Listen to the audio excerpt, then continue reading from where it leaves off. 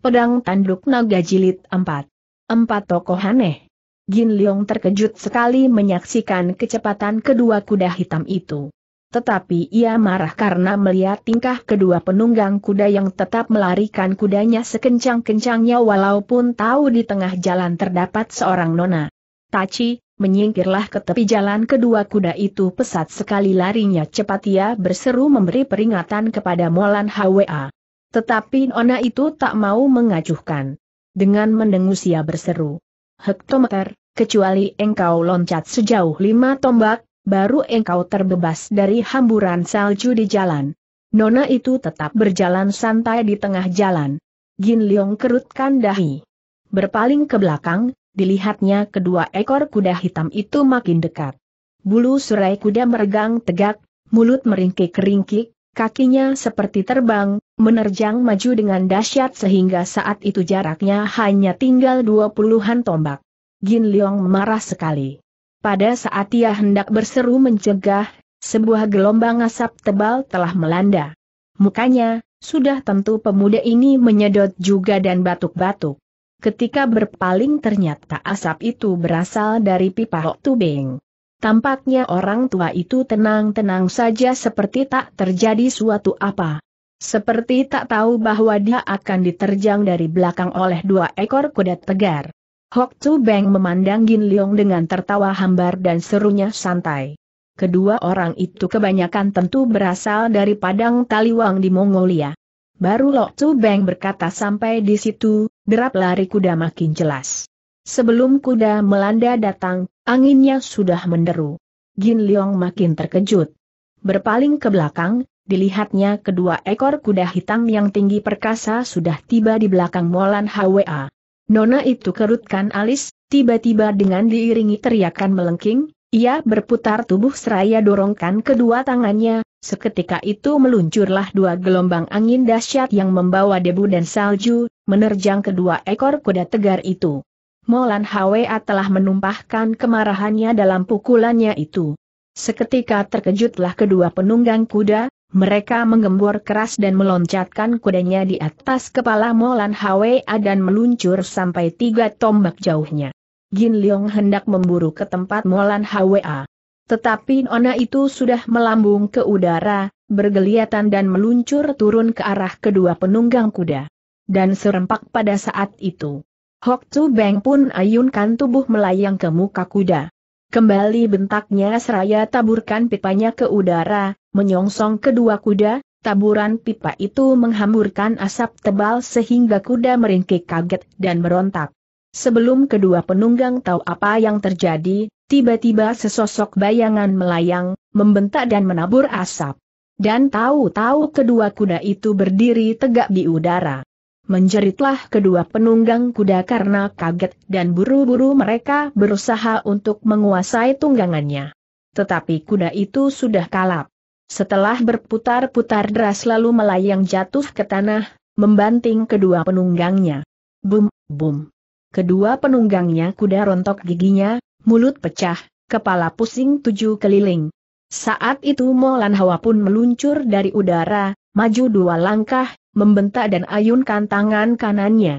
Melihat itu, salah seorang penunggang kuda cepat meneriaki kawannya, Ciliwatu, hati, hati, awaslah. Dia sendiri terus melenting bangun dan menghantam. Orang yang disebut Ciliwatu itu rupanya sudah tahu kalau dirinya diserang si Nona.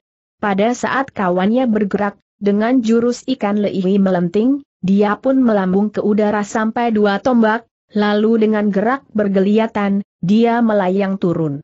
Bum titik. Ketika terjadi benturan antara pukulan Molan HWA dengan penunggang kuda yang seorang, keduanya terhuyung-huyung mundur sampai tiga langkah. Ciliwatu terkejut. Cepat ia bergeliat dan meluncur ke tanah, hampir tiada suaranya ketika kakinya menginjak tanah. Gin Leong cepat dapat mengetahui bahwa kedua penunggang kuda dari Mongol itu, walaupun bertubuh besar tetapi memiliki gerak yang lincah dan gesit sekali.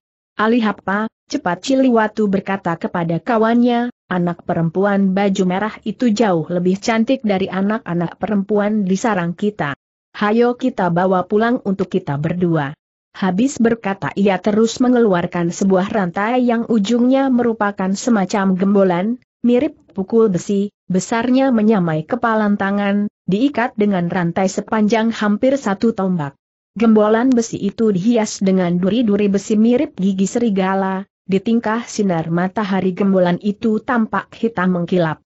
Karena terhuyung mundur tiga langkah, merahlah wajah Ali Hapa.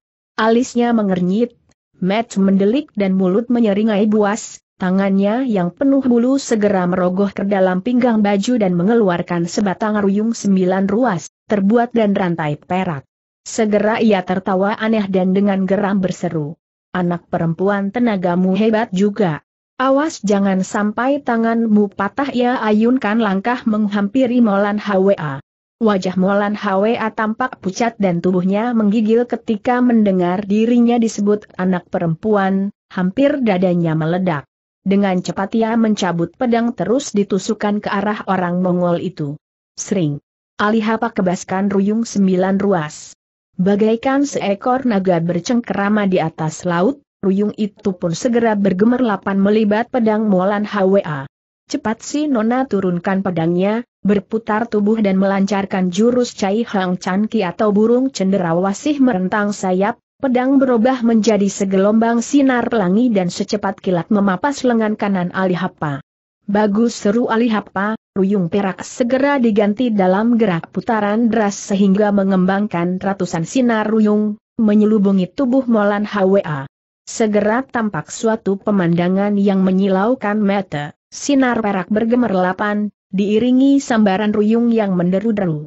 Sinar pedang selebat hujan mencurah, memancarkan sinar gemilang yang amat kemilau. Ciliwato dengan siapkan rantai bandulan di tangan, mengikuti pertempuran itu dengan penuh seksama.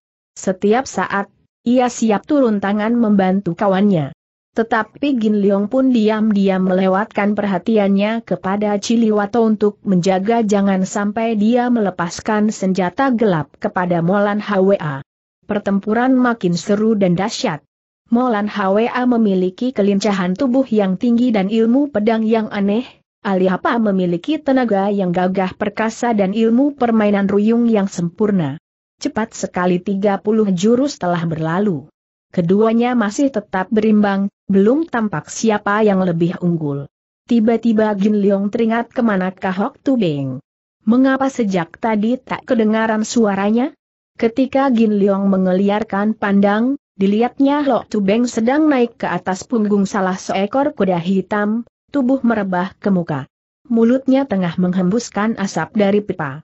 Sedang tangan kiri menjamah kepala kuda yang lain, memandang acuh tak acuh ke arah gelanggang. Rupanya dia tak begitu memikirkan tentang Xiao Moainya yang tengah bertempur seru itu. Melihat Gin Leong memandangnya Lok Tu Beng pun mengangguk tertawa lalu menghembuskan lagi segulung asap tebal. Diam-diam Gim Leong mengeluh dalam hati, pendekar aneh yang sudah tua itu memang aneh tingkah lakunya. Masakan Sumuainya bertempur dia malah enak-enak menguasai kedua ekor kuda musuh. Dan memang tak berapa lama kemudian, ia berhasil membuat kedua ekor kuda itu jinak. Tiba-tiba terdengar lengking teriakan nyaring disusul dengan bentak kemarahan. Gin Leong cepat berpaling. Serentak berkobarlah kemarahannya, dengan menggembor keras, ia segera lepaskan sebuah hantaman. Gelombang angin dahsyat yang menderu-deru segera menghambur ke arah Kiliwato yang menyerang gelap pada Molan HWA dengan rantai gembolannya. Ciliwato berteriak kaget. Cepat ia menarik pulang rantai gembolannya dan terus menggembor keras seraya loncat menghindar sampai dua tombak.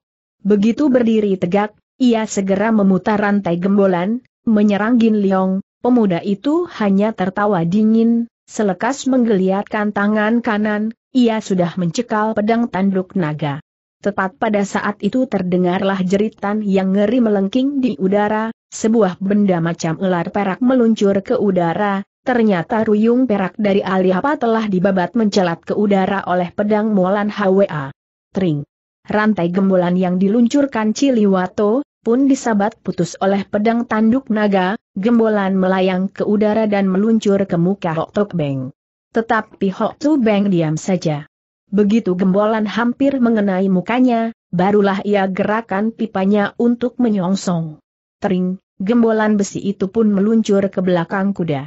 Karena kaget, kedua ekor kuda berpencar melonjak ke samping. Tiba-tiba Hok Beng menggembor keras lalu melambung ke udara dan meluncur turun ke jalan. Karena tak mengerti apa yang terjadi. Gin Leong berpaling ah, ternyata kedua orang Mongol tadi telah melarikan diri sekencang-kencangnya. Sedang Molan HWA masih tegak berdiri dengan mengulum tawa, ia memandang kedua orang Mongol itu tetapi tak mau mengejar. Hai, budak, apa enak-enak saja engkau hendak pergi teriak seseorang. Ternyata yang berteriak itu Lok Tubeng, sambil meluncur dari udara, pipanya yang masih berapi itu dihujamkan ke belakang tengkuk Ciliwato. Karena kesakitan terbakar api, Ciliwato menjerit-jerit dan mempercepat larinya, demikian Alihapa. Dengan bercucuran keringat dingin ia lari secepat-cepatnya. Begitu berlari di tanah, Hok Tubeng pun tertawa gelak-gelak. Molan Hwa segera menghampiri dan melengking marah. Toa Suheng, mengapa engkau gemar membakar tengkuk kepala orang dengan pipamu? Kalau sampai membakar tengkuk orang apakah tidak berbahaya? Hok Tubeng tertawa gelak. Ilmu menyorong api kepada tetamu ini sudah berpuluh-puluh tahun kugunakan dan belum pernah membakar tengkuk orang. Kemudian ia berganti nada serius, terhadap manusia yang kasar dan liar semacam mereka, harus digunakan care untuk mematahkan kesombongannya. Sedikit menyuruh mereka merasa sakit pada kulit rasanya tidak menjadi soal jangan sampai melukai atau membunuh jiwanya kau harus memberi kesempatan agar mereka mau sadar. Sejenak memandang kepada kedua orang Mongol itu, Hok Tu Beng melanjutkan pula. Sudah tentu terhadap manusia yang kejam dan jahat, tak boleh diberi ampun. Habis berkata pipanya menjulai ke tanah dan serentak terdengarlah rentetan bunyi mendesis. Salju yang menutup tanah pun telah luluh. Gin Leong dan Molan Hwa tertawa geli, setiap kali Toa Suheng melancarkan ilmu menyongsong api kepada tetamu, orang tentu akan lari tunggang langgang, kata Molan Hwa. Hok Tu Beng tertawa gelak-gelak tiba-tiba dari jauh terdengar segelombang ringkik kuda yang nyaring dan panjang. Ah, ternyata kedua ekor kuda hitam itu berada pada jarak seratusan tombak. Kedua binatang itu ternyata tak mau menyusul tuannya yang melarikan diri. Ho, Kedua manusia kasar itu tak mau lagi dengan kudanya, Hok Tu Beng tertawa, memandang ke arah kedua orang Mongol yang sudah beberapa li jauhnya itu, dia berkata pula, ah kita terpaksa harus mengembalikan kepada mereka lagi. Habis berkata dia terus song-songkan pipanya kepada kuda itu seraya bersuit. Entah bagaimana kedua ekor kuda itu meringkik keras dan lari pesat menghampiri. Begitu Hok Tu Beng mengangkat pipanya ke atas, kedua kuda itu pun lambatkan larinya, ketika tiba di tempat Hok Tu Beng kedua binatang itu berputar dua kali mengitari Hok Tu Beng lalu berhenti di depannya. Hok Tu Beng menyarungkan pipa ke belakang tengkuknya lalu perlahan-lahan mengelus-elus leher kuda itu. Kedua itu tampak jinak dan menurut sekali. Gin Leong ingin juga meniru ia mengajak Molan Hwa untuk mengelus-elus leher kuda yang seekor tetapi si Nona takut. Xiao Moai, jangan takut, masak jangan memegang pantatnya, kuda itu takkan menyepakmu, seru Hok Tubing. Ia memberikan kuda hitam yang keempat kakinya putih kepada Molan Hwa dan kuda yang hitam mulut kepada Gin Leong, serunya. Cobalah kalian mengelus-elus, kalau sudah dikembalikan pada yang empunya, kalian tak mempunyai kesempatan lagi. Kedua anak muda itu memberanikan diri untuk mengelus-elus kuda tegar itu. Lokoko, mereka sudah tak kelihatan bayangannya lagi, kita harus lekas mengejar supaya jangan kehilangan jejak mereka. Jangan khawatir, Hok Tu Beng tertawa, tak sampai seperempat jam mereka tentu dapat tersusul. Kemudian ia menerangkan bahwa kuda hitam berkaki putih itu disebut Tohun Kesuat atau awan hitam menutup salju, sedang kuda hitam mulus disebut Toh Yanma atau kuda hangus hitam. Kedua kuda itu merupakan kuda yang jarang terdapat di antara ratusan ribu kuda. Larinya cepat dan tenang. Duduk di punggung mereka dengan membawa cawan berisi air, airnya takkan menumpah, kata Lok Tubeng. Sayang sebagus ini jatuh di tangan manusia yang tolol, seru Molan HWA. Eh, jangan memandang rendah kepada kedua orang Mongol itu, seru Hok Tubeng. Menilik mereka tentu tersohor tokoh Lankat, kepala penternakan, di daerah Padang Taiwo. Tokoh silat kelas satu dewasa ini, tak mudah untuk mengalahkan mereka berdua. Saat itu Gin Liong tak mempunyai selera lagi untuk mendengarkan ocahan Hok Tubeng. Melihat matahari sudah berada di tengah suatu tanda kalau sudah tengah hari, ia gelisah. Xiao Heng Te, apa engkau khawatir tak dapat menyusul kedua orang Mongol itu tegur Hok Tubeng? Bukan, sahut Gin Liong, yang ku cemaskan kalau Liong Lilo Ciampu sudah pergi dari kota kecil itu. Baik, mari kita berangkat, Kata Lok Chu Beng kalian boleh masing-masing naik kedua ekor kuda itu dan aku akan mengikuti dari belakang. Gin Leong masih meragu. Tiba-tiba Molan HWA sudah loncat ke atas punggung salah seekor kuda dan entah dengan gerak bagaimana, Hok Chu Beng pun sudah melambung dan berdiri di atas pantat kuda hitam kaki putih atau kuda Gin Hun Ke Swat. Terpaksa Gin Leong pun terus menceplak kuda yang seekor. Hok Tu Beng memutar pipa dan berseru pelahan maka kedua ekor kuda itu pun terus lari. Di atas kuda, Gin Leong masih gelisah, apakah ia dapat menyusul kedua orang Mongol dan apakah Leong Lilo Ciampu apakah masih berada dalam kota. Pikirnya, apabila bertemu dengan Ban Hang Leong Li, tentu ia dapat mengetahui siapakah pembunuh suhunya itu, begitu pula tentang kawanan paderi jahat dan pertempuran dalam gua itu, tentu akan jelas semua. Ah, tititi, hu tiba-tiba terdengar Hok Tu Beng berseru keras dan pada lain kejap kuda hitam kaki putih yang dinaiki Molan Hwa secepat angin telah melampau kuda Gin Leong, padahal kuda hitam kaki putih itu pantatnya memuat Hok Tu Beng yang berdiri jejak. Gin Leong terkejut cepat ia menekan kendali kudanya dan kuda hitam mulus itu pun segera meluncur pesat melampaui kuda hitam kaki putih.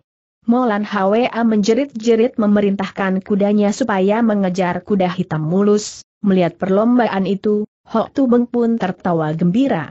Saat itu di sebelah depan terbentang sebuah hutan lebat, Gin Leong seperti terbang rasanya, ketika berpaling dilihatnya Molan HWA tertinggal tiga puluhan tombak di belakang walaupun mengerti ilmu naik kuda dan sudah beberapa kali naik kuda tetapi belum pernah ia naik kuda yang sepesat tangin itu cepatnya. Setelah melintasi hutan ternyata di jalan sebelah muka, bayangan Alihapa dan Ciliwato tak tampak lagi. Segera ia lambatkan kudanya, tiba-tiba kuda hitam kaki putih dari Molo HWA sudah melampauinya. Hok Tubeng enjot tubuhnya bergeliatan di udara dan melayang turun di atas pantat kuda Gin Leong. Xiao Heng Te, kepraklah kudamu seru Hok Tubeng. Mengapa kedua orang itu tak tampak tanya Gin Leong.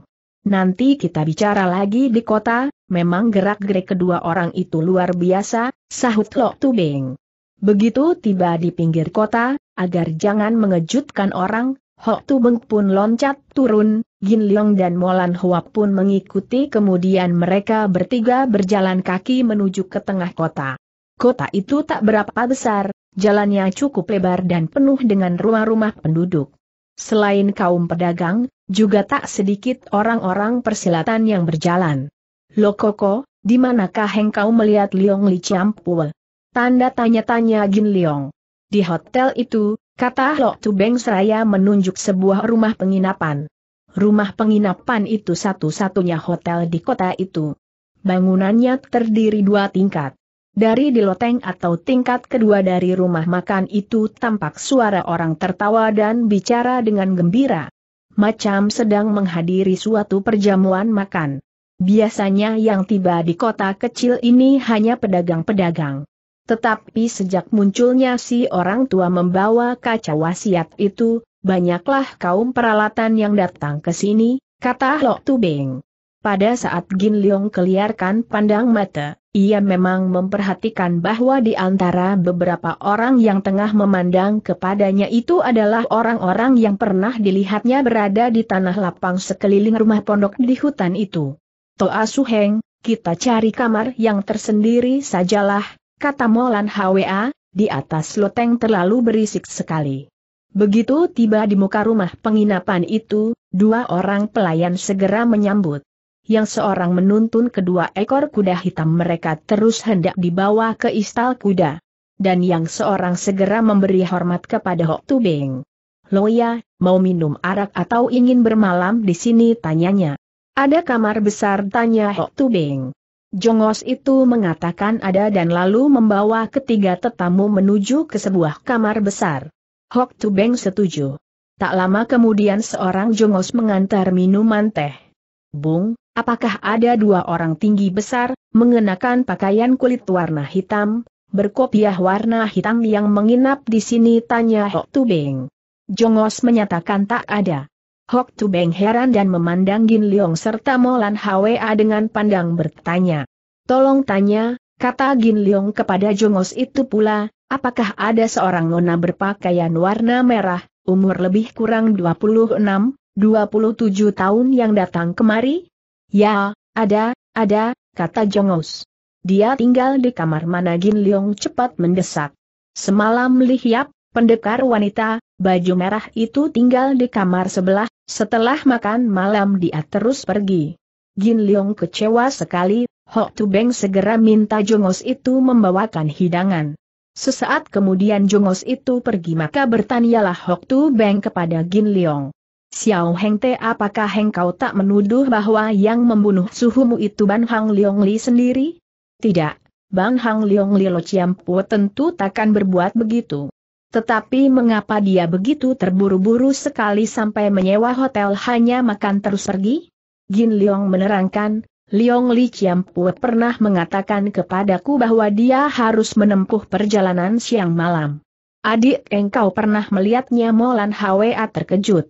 Bukan saja pernah melihat bahwa Xiao Heng Te ini pernah menerima pelajaran silat dari dia, tukas Hok Tu Beng. Hai, bagaimana Toa Su Heng tahu Molan Hwa makin heran. Hok Tu Beng tertawa gelak-gelak, serunya, tadi sewaktu turun tangan, apa engkau tak melihat aku telah gagal menyambar tangan Xiao Heng Te, karena Xiao Heng Te menggunakan gerak Liong Libiao. Pada saat itu Jongos pun datang membawa hidangan mereka bertiga segera menyantapnya. Molan Hwe asibuk melayani, menuangkan arak untuk Toa Suheng dan Gin Liong. Dia sendiri pun minum juga.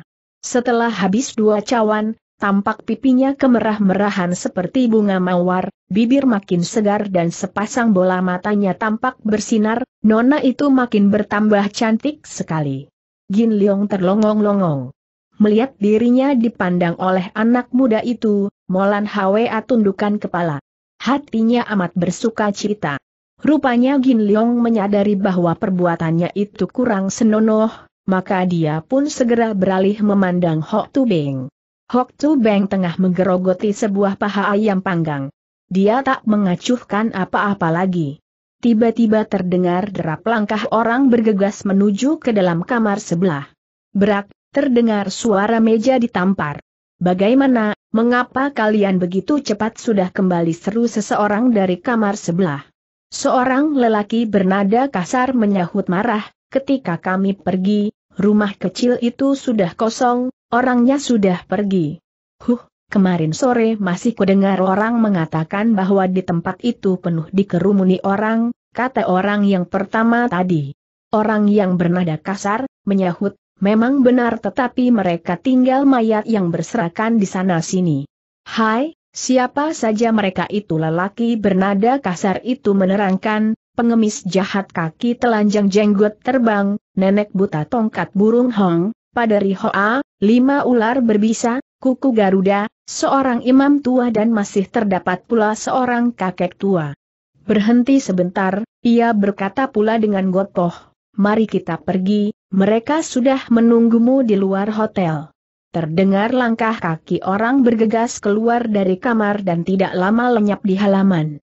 Mendengar nama pengemis kaki telanjang dan padari gemuk yang ikut terkapar sebagai mayat, Serentak teringatlah Gin Leong akan imam jenggot indah yang berwibawa itu.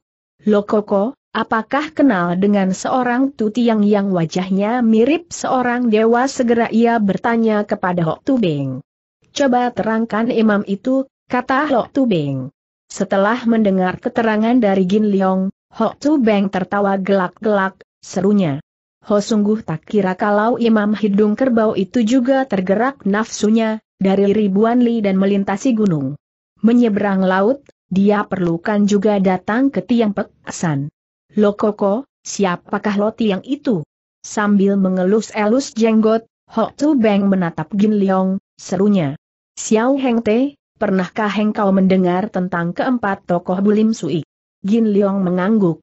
Suhu pernah menceritakan kepadaku, katanya, keempat Bulim Sui dan Lo Koko bertiga Suatia Sam Yeu itu merupakan tujuh tokoh dunia persilatan yang disebut Tih Wei Jit Ki.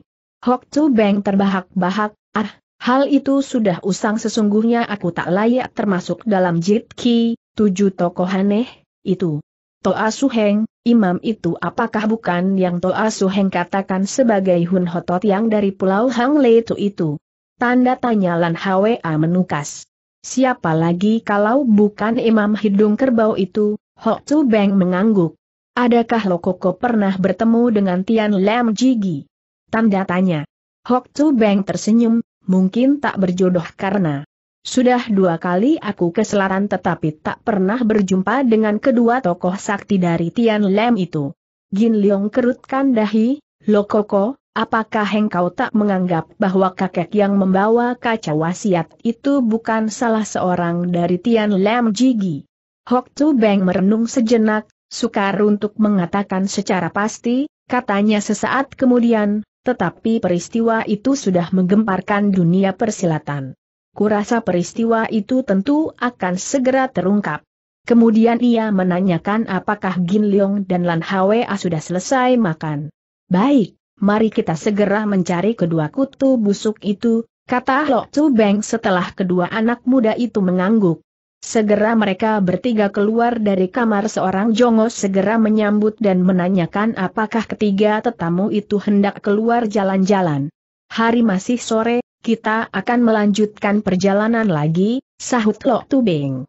Kemudian ia membayar kening dan ongkos memberi makan kedua kuda. Pada saat mereka bertiga baik kuda, tiba-tiba Jongos bergegas keluar menghampiri Hok Tubing.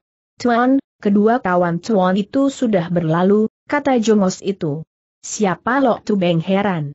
Yang Tuan tanyakan kedua tetamu tinggi besar, memakai jubah dan kopiah kulit, mata besar dan mulut lebar tadi. Melihat gerak-gerik si Jongos, Hok Tu Beng tertawa, sehingga Jongos itu melongo. Ke manakah perginya kedua orang itu tegur Lan Hwa? Ke barat sana si Jongos menunjukkan jarinya ke barat. Hayo kita berangkat, seru Hok Tu Beng setelah menghaturkan terima kasih kepada Jongos itu. Banyak sekali orang persilatan yang datang dan pergi dari kota itu. Setiba di luar kota, Hok Tu Beng berpaling dan hendak bicara tetapi ketika melihat wajah Gin Leong dan Lan Hwa mengerut kegelisahan, ia tahu apa yang dipikirkan kedua anak muda itu. Xiao Heng Te, seru Hok Tu Beng tertawa, jangan khawatir kalau tak dapat mengejar Leong Ii Lo Chiampo itu, setiap orang yang hendak menuju ke selatan, tentu harus berhenti di Teluk Tailian menunggu perahu, kalau kita agak cepat berjalan, kemungkinan kita dapat tiba lebih dulu di sana. Kemudian Hok Tu Beng berkata pula kepada Gin Leong, kalau Ban Hang Leong Li tak berada di Tailian, akan kuminta tacimu untuk menemani engkau ke Kang Lam. Mendengar itu Lan Hwa tertawa gembira, kebalikannya diam-diam Gin Leong kerutkan dahi. Adik, mari kita melanjutkan perjalanan lagi, kata Lan Hwa seraya loncat ke punggung kudanya. Gin Leong pun juga loncat ke atas kudanya, sedangkan Hok Tu Beng pun sudah berdiri di pantat kuda. Kedua kuda tegar itu segera mencongklang pesat, tetapi tiba-tiba mereka mendengar suara gemuruh dari belakang, ketika berpaling dilihatnya berpuluh-puluh orang persilatan yang menunggang kuda, menerobos keluar dari kota, mereka berteriak-teriak hendak menangkap pencuri kuda. Di jalan itu tiada tampak lain orang lagi kecuali Gin Leong bertiga, sudah tentu dia marah mendengar teriakan kawanan penunggang kuda itu, ia hentikan kudanya, melihat itu Lan Hua pun hentikan kuda dan berputar ke belakang. Tiba-tiba terdengar desing tajam dari sebatang anak panah pertanyaan yang meluncur ke udara. Melihat itu Sok Chu Beng tertawa, katanya kepada Gin Leong. Xiao Heng Te, mereka adalah anak buah dari macan tertawa Oh Tianpa dari Gunung Tian Posan. Berhati-hatilah dengan kau Kin Tiang Pian, cambuk dari urat naga, mereka. Waktu memandang dengan penuh perhatian, Gin Leong memang melihat berpuluh kawanan penunggang kuda itu masing-masing mencekal sebatang cambuk sepanjang satu tombak lebih. Saat itu kawanan penunggang kuda membentuk diri dalam bentuk seperti busur, dan lari kencang menyerbu ke arah Gin Leong bertiga. Sambil berdiri di atas pantat kuda hitam mulus, Hok Tu Beng melambaikan pipa ke udara dan berseru nyaring. Saudara dari markas Som Lim Sei, dengarkanlah. Aku Hok Beng, suruhlah pemimpin barisanmu tampil bicara dengan aku. Saat itu kawanan penunggang kuda hanya terpisah dua puluhan tombak, tampaknya mereka tak mempunyai pemimpin. Melihat itu Gin Leong dan Lan Hwa segera mencabut pedang. Tetapi saat itu berpuluh-puluh penunggang kuda sudah mengepung, wajah mereka memberingas dan serempak mengayunkan cambuknya ke arah Gin Leong bertiga. Tering, tering, tering titik dengan tangkas Gin Leong dan Lan Hwa segera memutar pedang untuk membabat berpuluh-puluh cambuk itu. Ketika beradu dengan pedang, tanduk naga, berpuluh-puluh kaukin tiang pian atau cambuk urat naga berhamburan putus. Sedang Hok Tubeng dengan tertawa gelak-gelak mengayunkan pipanya untuk menyapu serangan cambuk. Terdengar pekik jeritan kejut dan kesakitan dari berpuluh-puluh penunggang kuda itu ketika cambuk mereka terlempar jatuh, dan menyusul terdengar beberapa tubuh mereka terjungkal dari kuda. Kembali dari arah kota kecil itu menggemuruh suara kuda berlari, hampir seratus penunggang kuda menerobos keluar dan mencongklang pesat. Dua ekor kuda berbulu hijau dan merah, dan berada paling depan dinaiki oleh sepasang lelaki perempuan yang mengenakan pakaian ringkas atau pakaian orang persilatan warna kuning emas.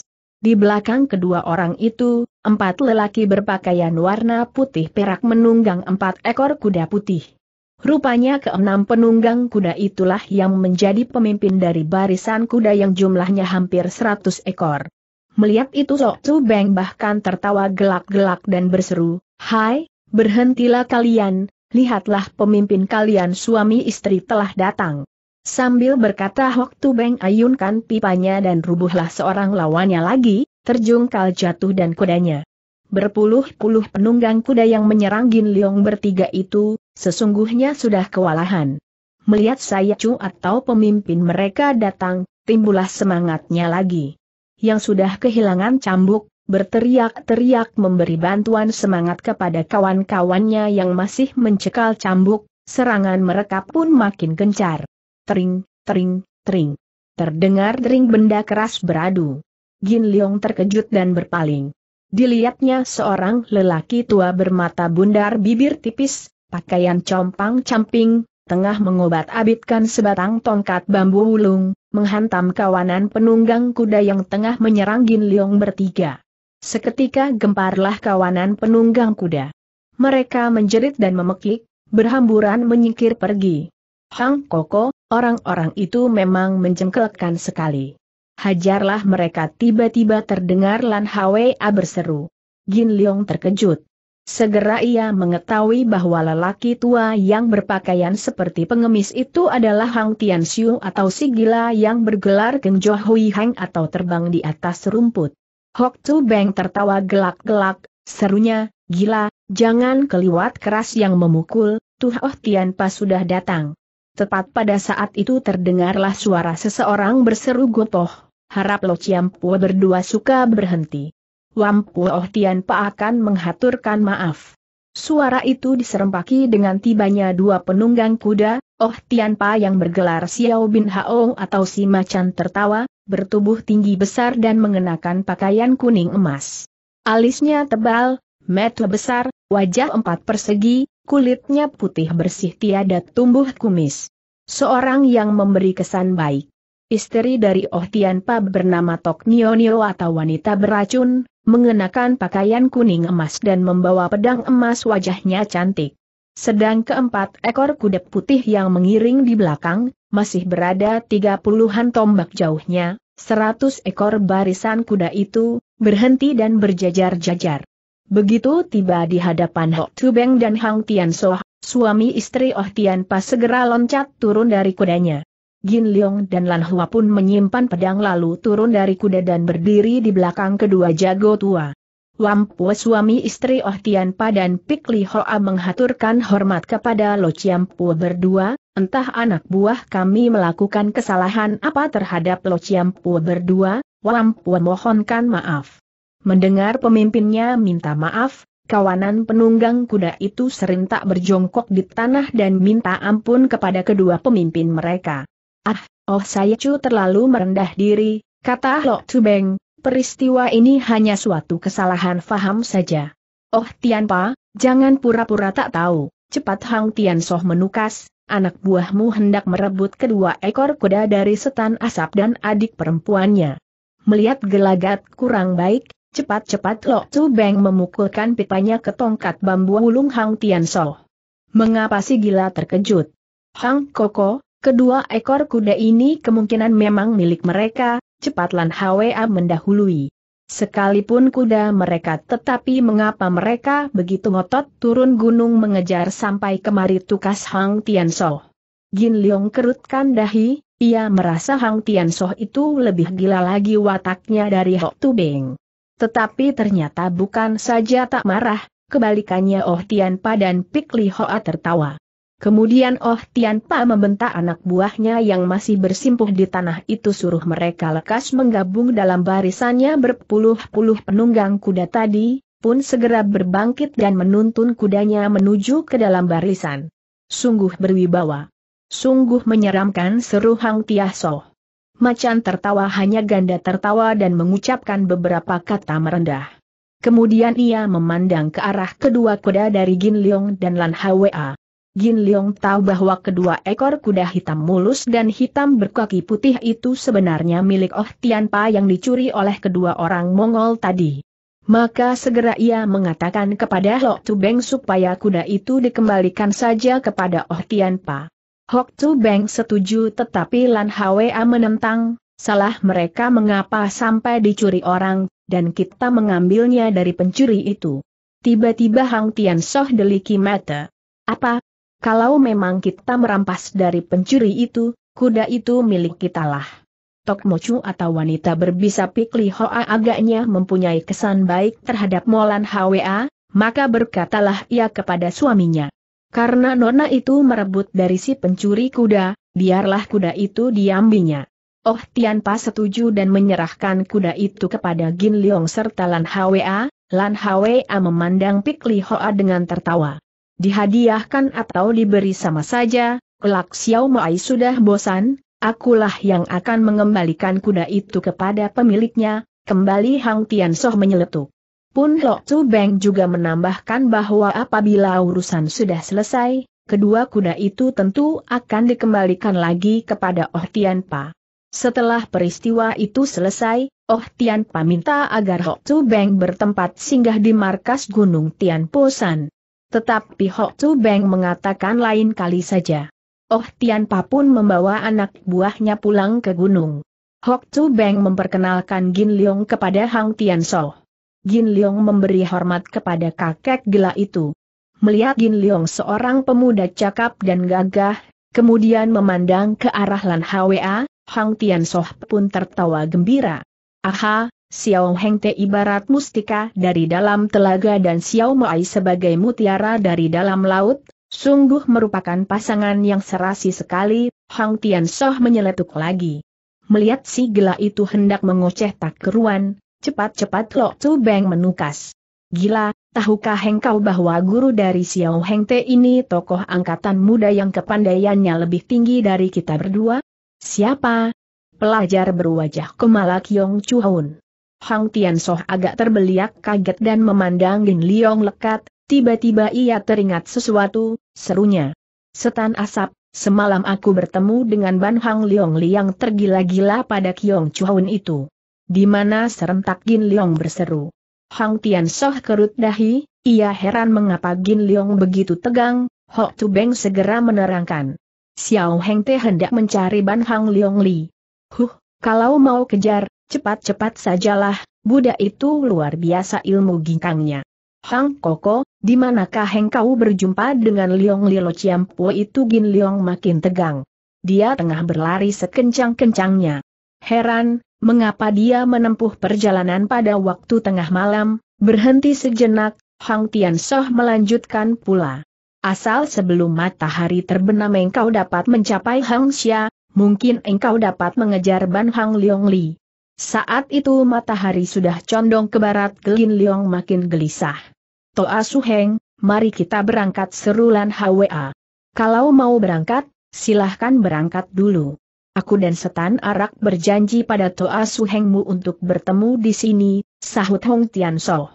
Hok Tu Beng pun mengatakan bahwa setelah urusan selesai, ia bersama Hang Tian Soh tentu segera menyusul. Di sepanjang jalan, tinggalkan tanda rahasia pipa emas. Atau tanda tongkat pemukul anjing itu juga boleh, Hang Tian Soh menyelutuk, bukankah seratus orang yang melihat diriku tentu akan mengatakan kalau aku seorang tukang peminta nasi. Diam-diam Molan Hwe Agirang karena kedua tokoh itu tak ikut pergi, demikian keduanya segera naik kedua ekor kuda hitam, dalam waktu yang singkat mereka sudah melintasi sebuah daerah pegunungan salju. Sejam kemudian mereka sudah melalui beberapa desa dan saat itu di sebelah depan tampak jalan besar yang menuju ke kota Hangxia. Penuh orang berjalan di jalan besar itu. Kebanyakan mereka adalah pedagang-pedagang. Saat itu matahari sudah condong ke arah barisan puncak gunung di sebelah barat. Adik, tahukah engkau gunung apa itu? Tanya Lan HWA. Sambil memandang ke gunung yang menjulang tinggi ke angkasa, Giliong gelengkan kepala, mengatakan tak tahu. Lan HWA kerutkan dahi. Dia heran mengapa Gin Liong tak tahu apa-apa sama sekali. Bagaimana akan mencari orang ke Kanglam yang begitu luas? Itulah puncak Motiani. Benggolan kaum hitam di luar perbatasan yakni ketujuh saudara Tio, bersarang di gunung itu, Lan Hwa menerangkan. Adik, pelahan dulu, sesaat kemudian Lan Hwa berseru ketika melihat pada jarak satu li di sebelah muka tampak mendatangi belasan penunggang kuda yang berpakaian seperti orang persilatan. Karena debu amat tebal maka sukar diketahui wajah mereka. Rupanya kawanan penunggang kuda itu tahu juga akan Gin Leong dan Lan Hwa. Penunggang kuda yang menjadi pemimpin rombongan itu segera hentikan kudanya. Dan saat itu Gin Leong pun sudah tiba di depan mereka. Tanpa berkata apa-apa, seorang penunggang kuda menerobos dari rombongannya dan terus lepaskan pukulan jarak jauh ke arah Gin Leong. Sudah tentu pemuda itu terkejut dan cepat condongkan kepala kudanya lalu balas menghantam. Bum. Terdengar dengus orang tertahan, orang itu dibawa mundur oleh kudanya dan terpelanting jatuh ke tanah, berguling-guling dan menjerit-jerit. Rombongan penunggang kuda itu pun cepat mencabut senjatanya hendak menyerang. Tetapi kuda hitam kaki putih dari Lan Hwa tiba-tiba meringkik berloncatan melingkar-lingkar dengan garang sekali. Belasan ekor kuda dari rombongan itu terkejut dan meringkik ketakutan lalu lari berserabutan ke empat penjuru. Tetapi sebagai gantinya, Gin Leong dan Lan Hwa segera melihat seorang penunggang kuda melintang di tengah jalan. Penunggangnya seorang lelaki berwajah hitam. Mukanya penuh berewok, hidung dan mulut besar, alis tebal menaungi sepasang metu yang bundar besar. Orang itu dingin-dingin memandang kedua anak.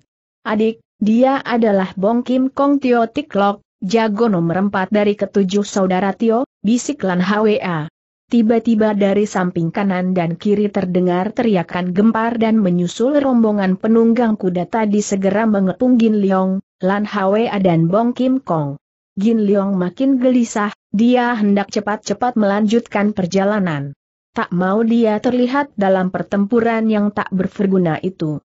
Minggirlah serunya seraya mencongklangkan kuda menerjang Bong Kim Kong dan ayunkan tangan kanannya menghantam. Bong Kim Kong atau malah ekat buas Tio Tik Lok tertawa gelak-gelak ia kepitkan kedua kakinya ke perut kuda dan melambungkan kuda itu loncat sampai satu tombak tingginya lalu ayunkan tongkat Long Yapang menghantam pantat kuda Gin Leong. Pukulannya luput, Gin Leong terkejut. Cepat ia memacu kudanya loncat ke muka. Melihat Gin Leong terancam bahaya, Lan Hua pun segera membalutkan pedangnya ke pinggang malaikat buas, tetapi jago keempat dari tujuh saudara Tio itu tertawa keras, lintangkan kuda seraya balikan tongkatnya ke pinggang nona itu. Budak, karena engkau tahu namaku, maka serangan ini takkan mencabut nyawamu. Lan Hua pun terkejut karena serangannya gagal. Cepat ia menyadari bahwa ketujuh penjahat dan Gunung Motiania itu memang pandai sekali bertempur dengan menunggang kuda. Kalau mau menundukkan malaikat buas, lebih dahulu harus memaksanya turun dari kuda. Begitu tongkat long, ya, Pang Tibu, nona itu pun loncat turun ke tanah. Segulung sinar merah berkelebat membabat kaki depan dari kuda Bong Kim Kong, Bong Kim Kong menjerit kaget, menarik kendali sehingga kuda berdiri tegak menjulangkan kaki depannya ke atas, lalu dengan jurus menjolok bulan di dasar laut, Bong Kim Kong menyodokkan tongkat ke pedang Lan HWA.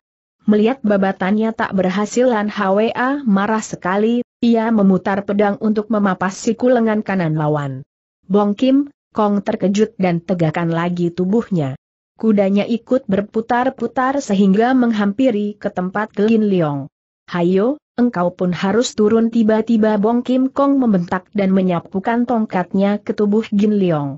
Wut pemuda itu ayun tubuhnya melambung ke udara sampai beberapa tombak, Sambil bergeliatan di udara ia berseru, Taci, menyingkirlah agak jauh.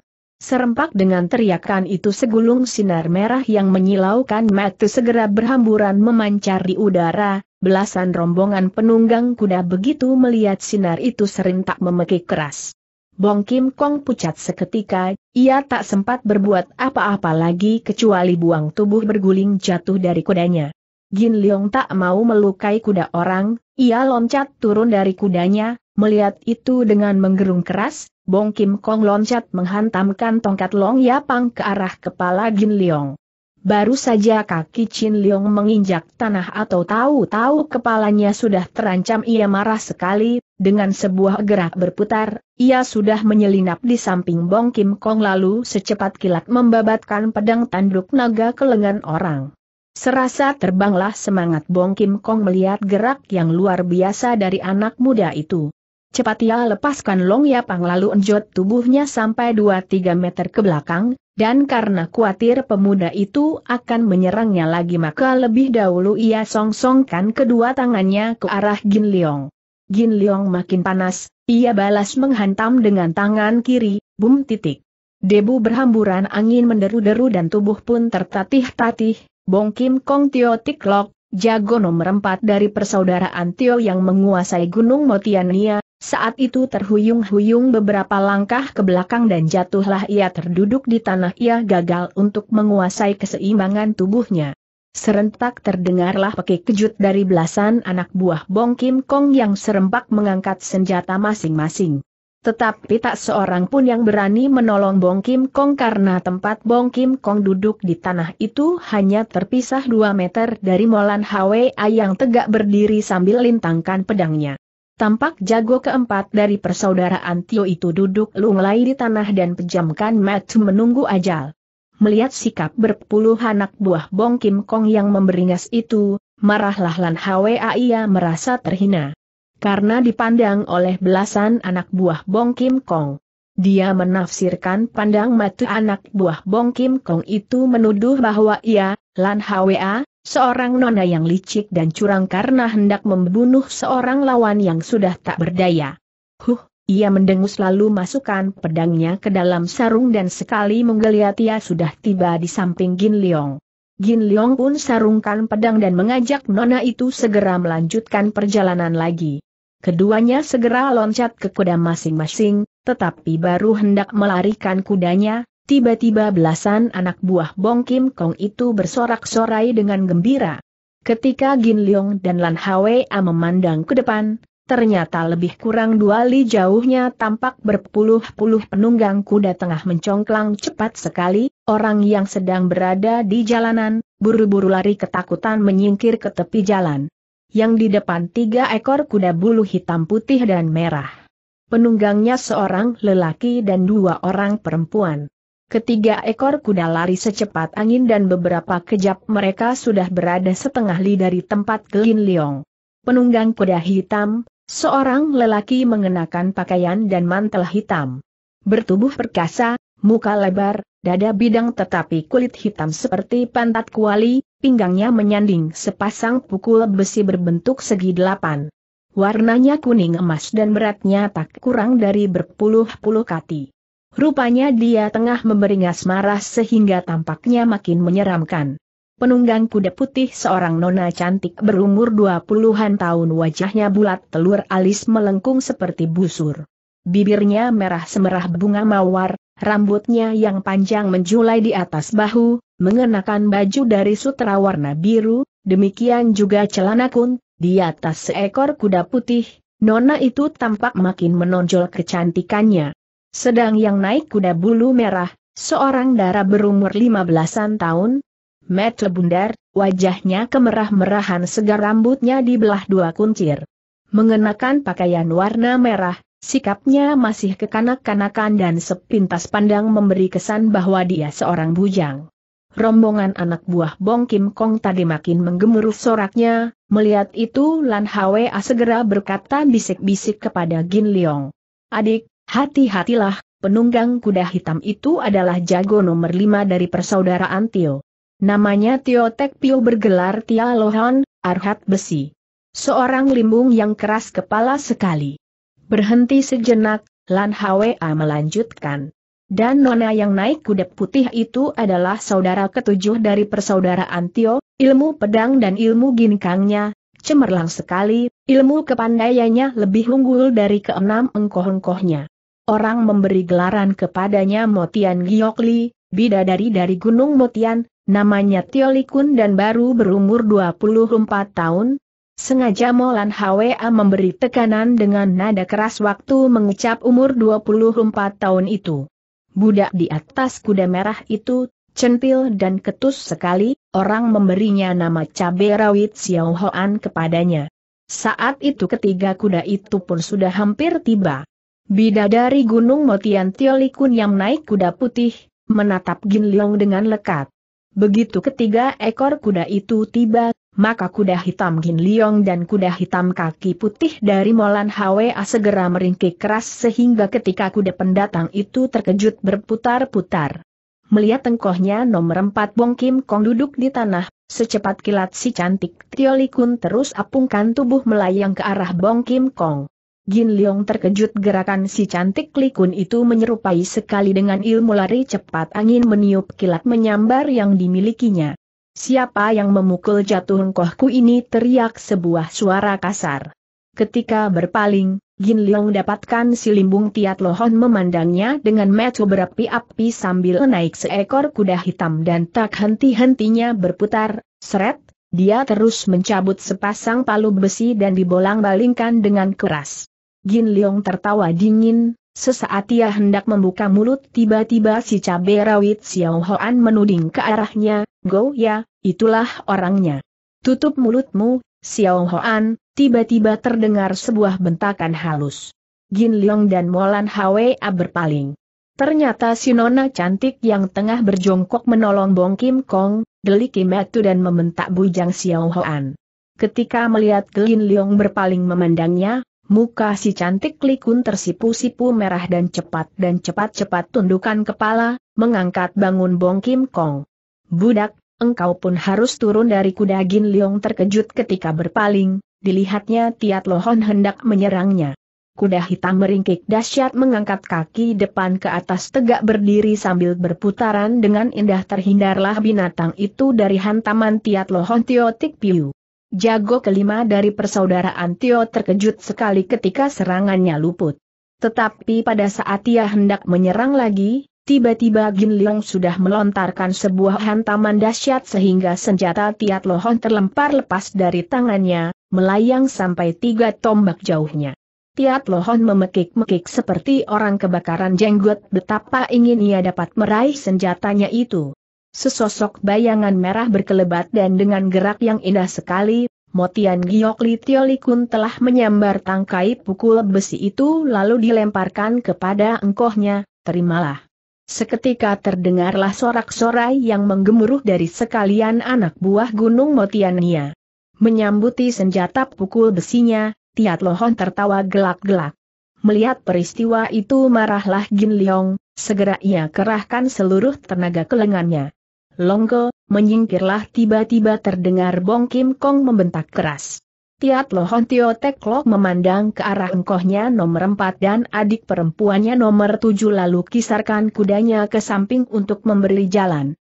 Keenam penunggang kuda yang menghadang di tengah jalan pun buru-buru menyingkir. Demikian pula dengan kelompok anak buah yang datang bersama Tiat Lohon dan Motian Gioli tadi, pun menyingkir ke tepi jalan. Taci, mari kita berangkat ke Lin Leong berseru kepada Lian Hwa kedua muda-mudi itu pun segera mencongklangkan kudanya dengan pesat. Mendengar Gin Leong menyebut Lan Hwa dengan panggilan Taci, seketika merekah setitik harapan dalam hati Motian Giok Li Tioli Kunia tersenyum girang. Saat itu matahari sudah condong ke barat dan tertutup oleh puncak Gunung Motian San yang menjulang tinggi. Sekonyong-konyong hidung Gin Leong terbaur serangkum angin wangi, ia tergetar dan berpaling, tampak di tepi sebelah kiri jalan, tengah berjajar sekelompok barisan kuda dari gadis cantik. Mereka mengenakan pakaian merah semua dan menyanggul pedang di punggung. Kuda hitam mulus meringkik terus menerjang ke muka, barisan nona-nona cantik itu cepat menyingkir ke samping jalan. Tak berapa lama di sebelah muka tampak tembok dari kota Hangxia. Seperminum teh lamanya, tibalah Gin Leong berdua di pintu kota itu.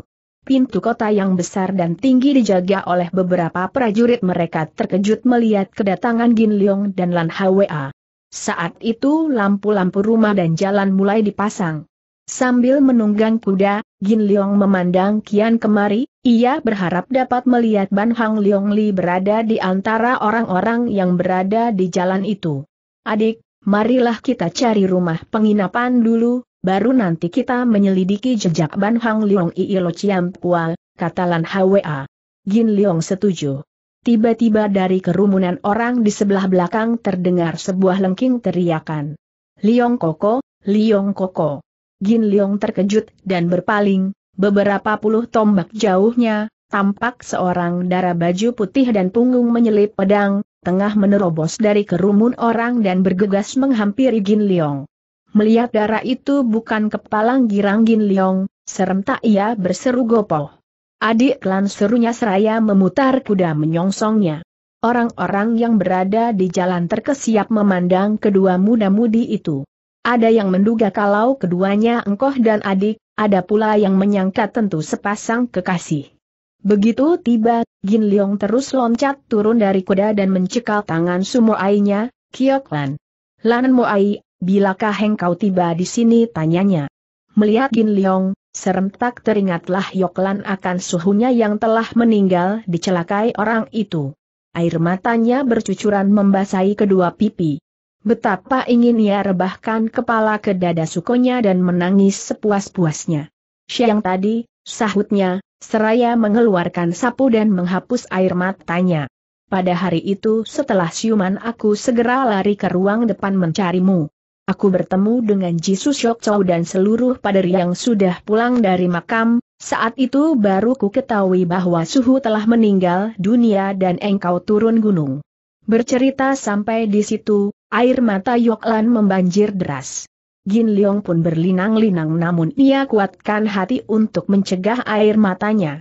Pada saat ia hendak berkata menghibur Sumoainya, tiba-tiba kuda hitam mulus meringkik keras sehingga Yok Lan melonjak kaget, ketika mengangkat muka, baru ia tahu kalau orang-orang yang berada di sekitar tempat itu tengah memandang dirinya dan Gin Leong, Yok Lan tersipu-sipu merah wajahnya. Memandang ke arah Gin Leong, dilihatnya sukonya itu tengah memandang kian kemari seperti mencari orang. Serentak teringatlah Yoklan akan nona baju merah yang menunggang kuda hitam berkaki putih tadi. Liong Koko, ke manakah nona yang berjalan bersama engkau tadi serunya bertanya. Merah wajah Gin Leong mendengar pertanyaan itu segera ia menerangkan bahwa nona itu bernama Molan Hwa yang digelari orang sebagai salju merekah merah. Aneh, Mengapa tiba-tiba ia lenyap? kata Gin Leong seraya mengusap air matanya. Liong Koko, mungkin dia mengambek, kata Yaklan.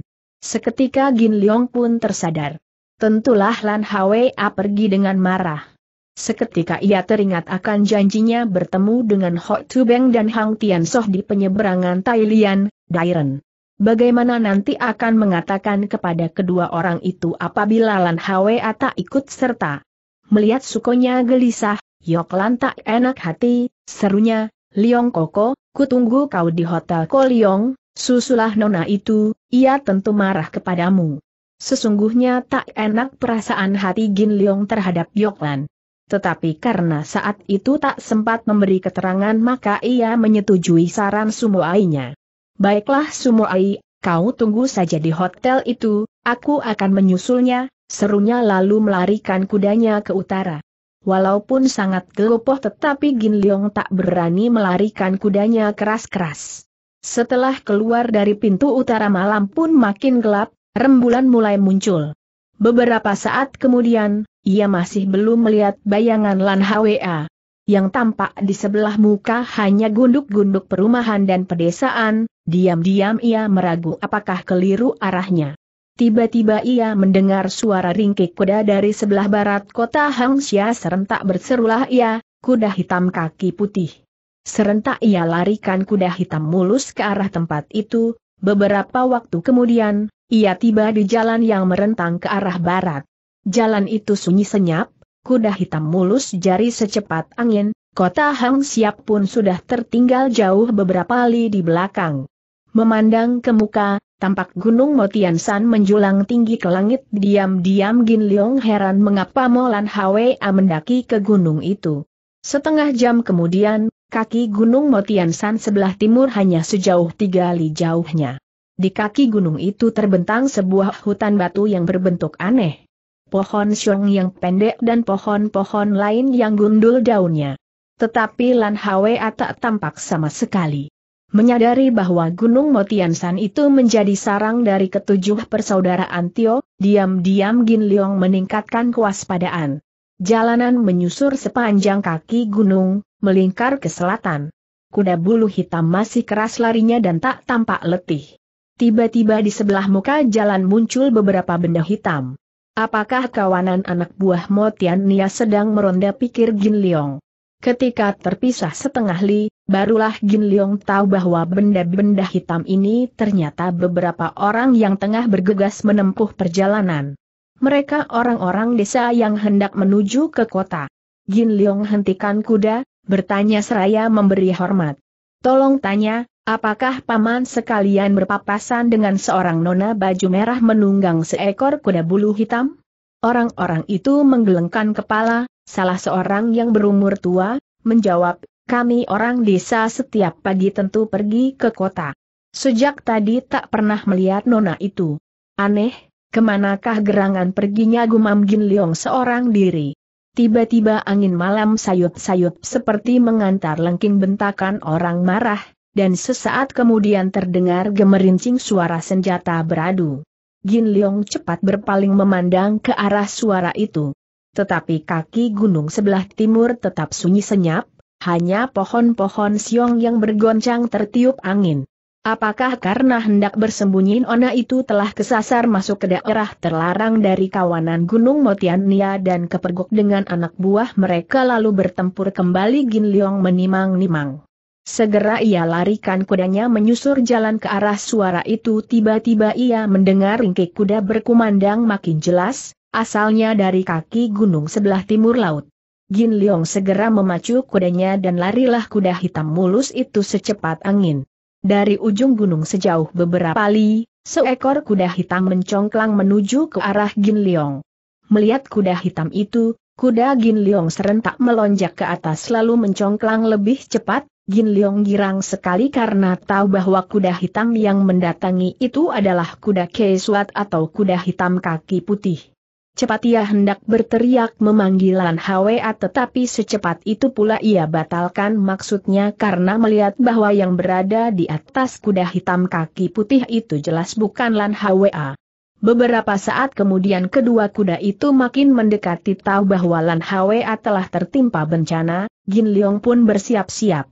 Saat itu Gin Leong pun melihat sebuah jalan kecil yang mencapai di muka gunung, segera ia menduga bahwa dari jalan kecil itulah Lan Hwa telah menyelinap dan masuk ke daerah terlarang dari kawanan Gunung Motiansan.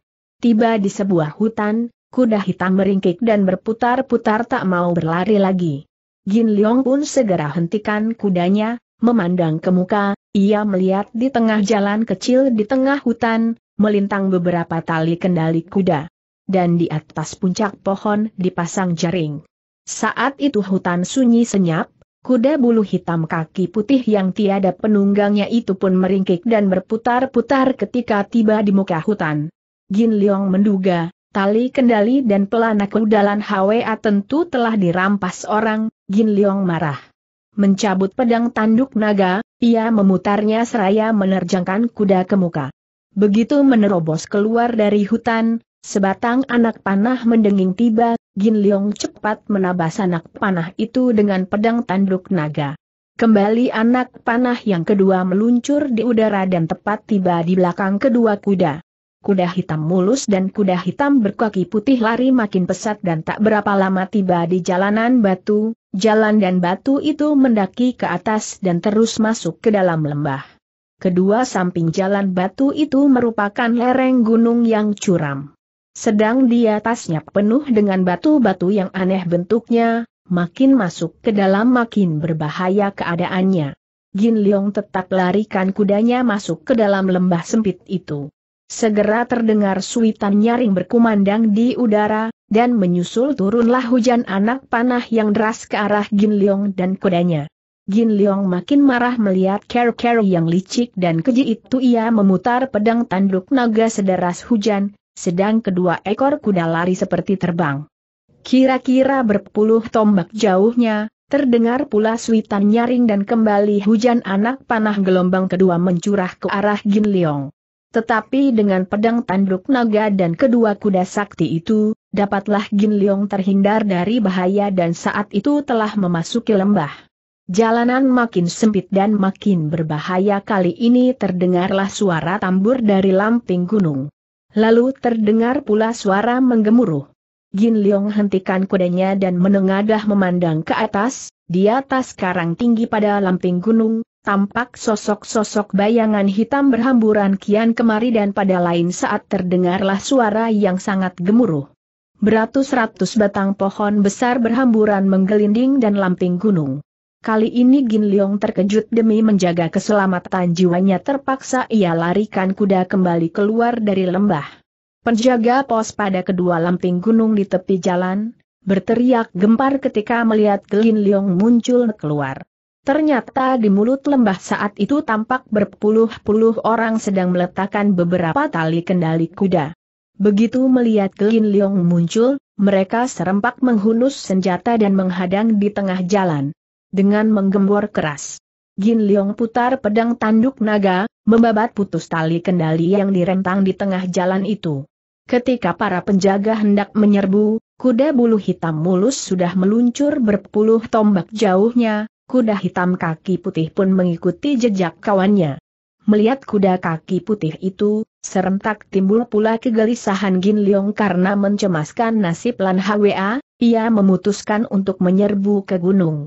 Dia matinya keadaan lembah gunung itu memang berbahaya sekali, ia memperhitungkan bahwa pada tempat-tempat yang berbahaya tentu tak begitu dijaga ketat. Maka ia segera larikan kudanya di sepanjang kaki gunung menuju ke barat laut. Tiba di sebuah tempat yang berbahaya, ia berhenti dan turun dari kudanya. Saat itu baru ia mengetahui bahwa kedua ekor kuda itu seperti mandi keringat, Gin Leong sayang kepada kuda itu, dielus-elus kepalanya beberapa kali dan kedua ekor kuda itu pun seperti mengerti bahasa manusia, terus lari menuju ke gundukan batu yang tinggi. Saat itu rembulan sudah di tengah cakrawala terang benderang Motian Hang atau puncak gunung pencakar langit, menjulang tinggi menyusup ke dalam awan. Bermandikan cahaya rembulan, gunung itu tampak perkasa. Dengan beberapa loncatan, Gin Leong tiba di muka sebuah karang yang tegak melandai, sepanjang karang itu. Penuh dengan pohon rotan dan batu-batu yang menonjol serentak ia anjot tubuh melambung ke udara. Dengan setiap kali hingga pada batu karang atau pohon untuk menggunakannya sebagai landasan melambung lagi ke atas, akhirnya berhasillah ia tiba di puncak karang.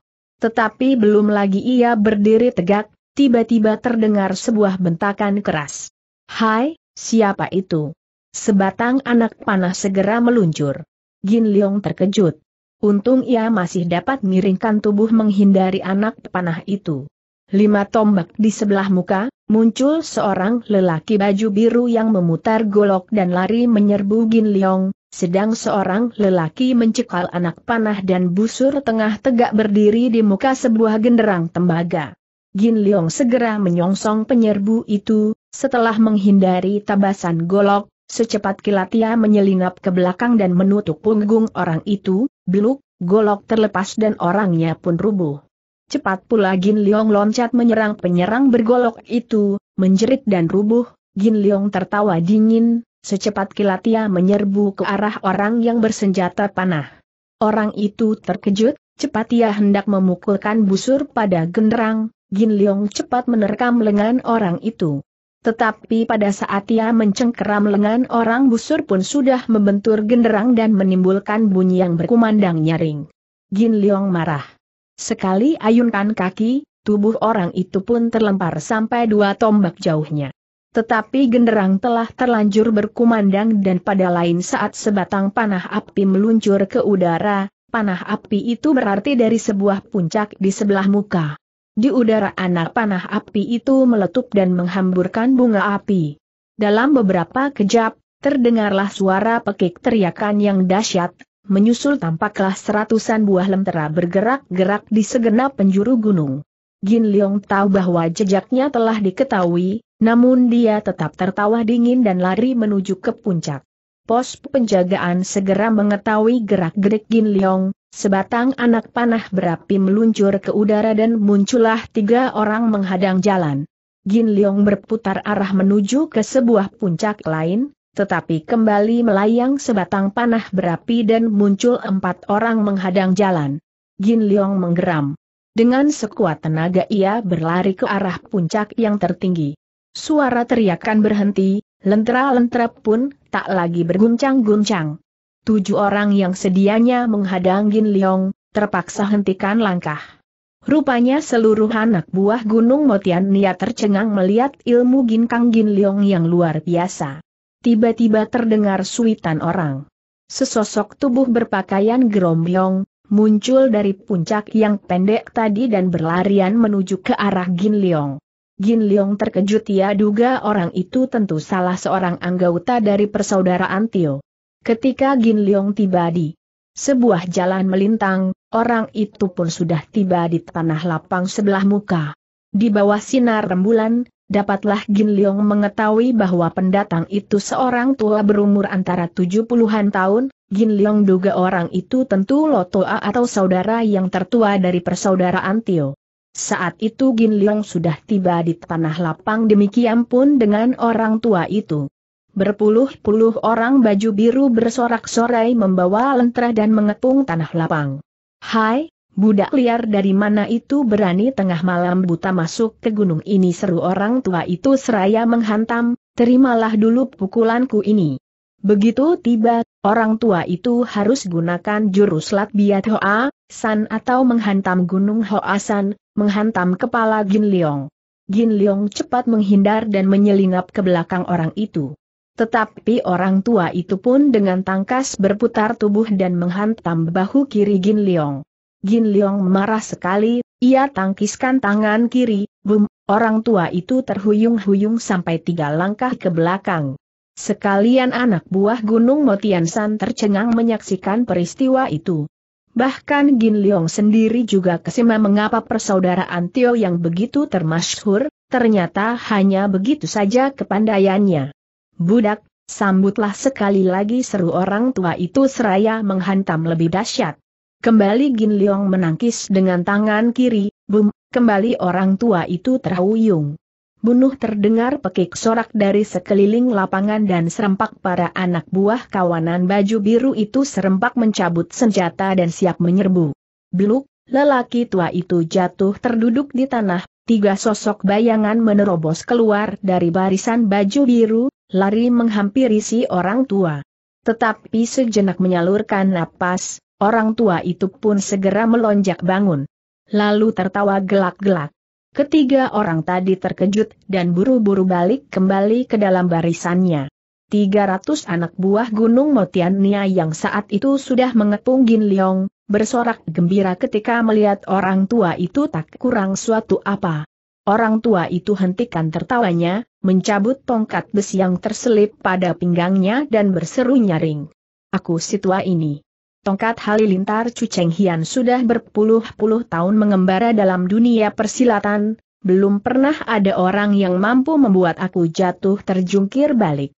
Ia tertawa gelak-gelak lagi dan berseru kepada Gin Leong, Budak, engkaulah orang yang pertama, ia menutup. Kata dengan sebuah loncatan ke muka seraya memutar tongkatnya menghantam pinggang Gin Leong. Mendengar nama orang tua itu bukan dari persaudaraan Tio, Gin Leong tak mempunyai selera untuk menempurnya lagi serentak ia loncat menyingkir tiga tombak dan berseru.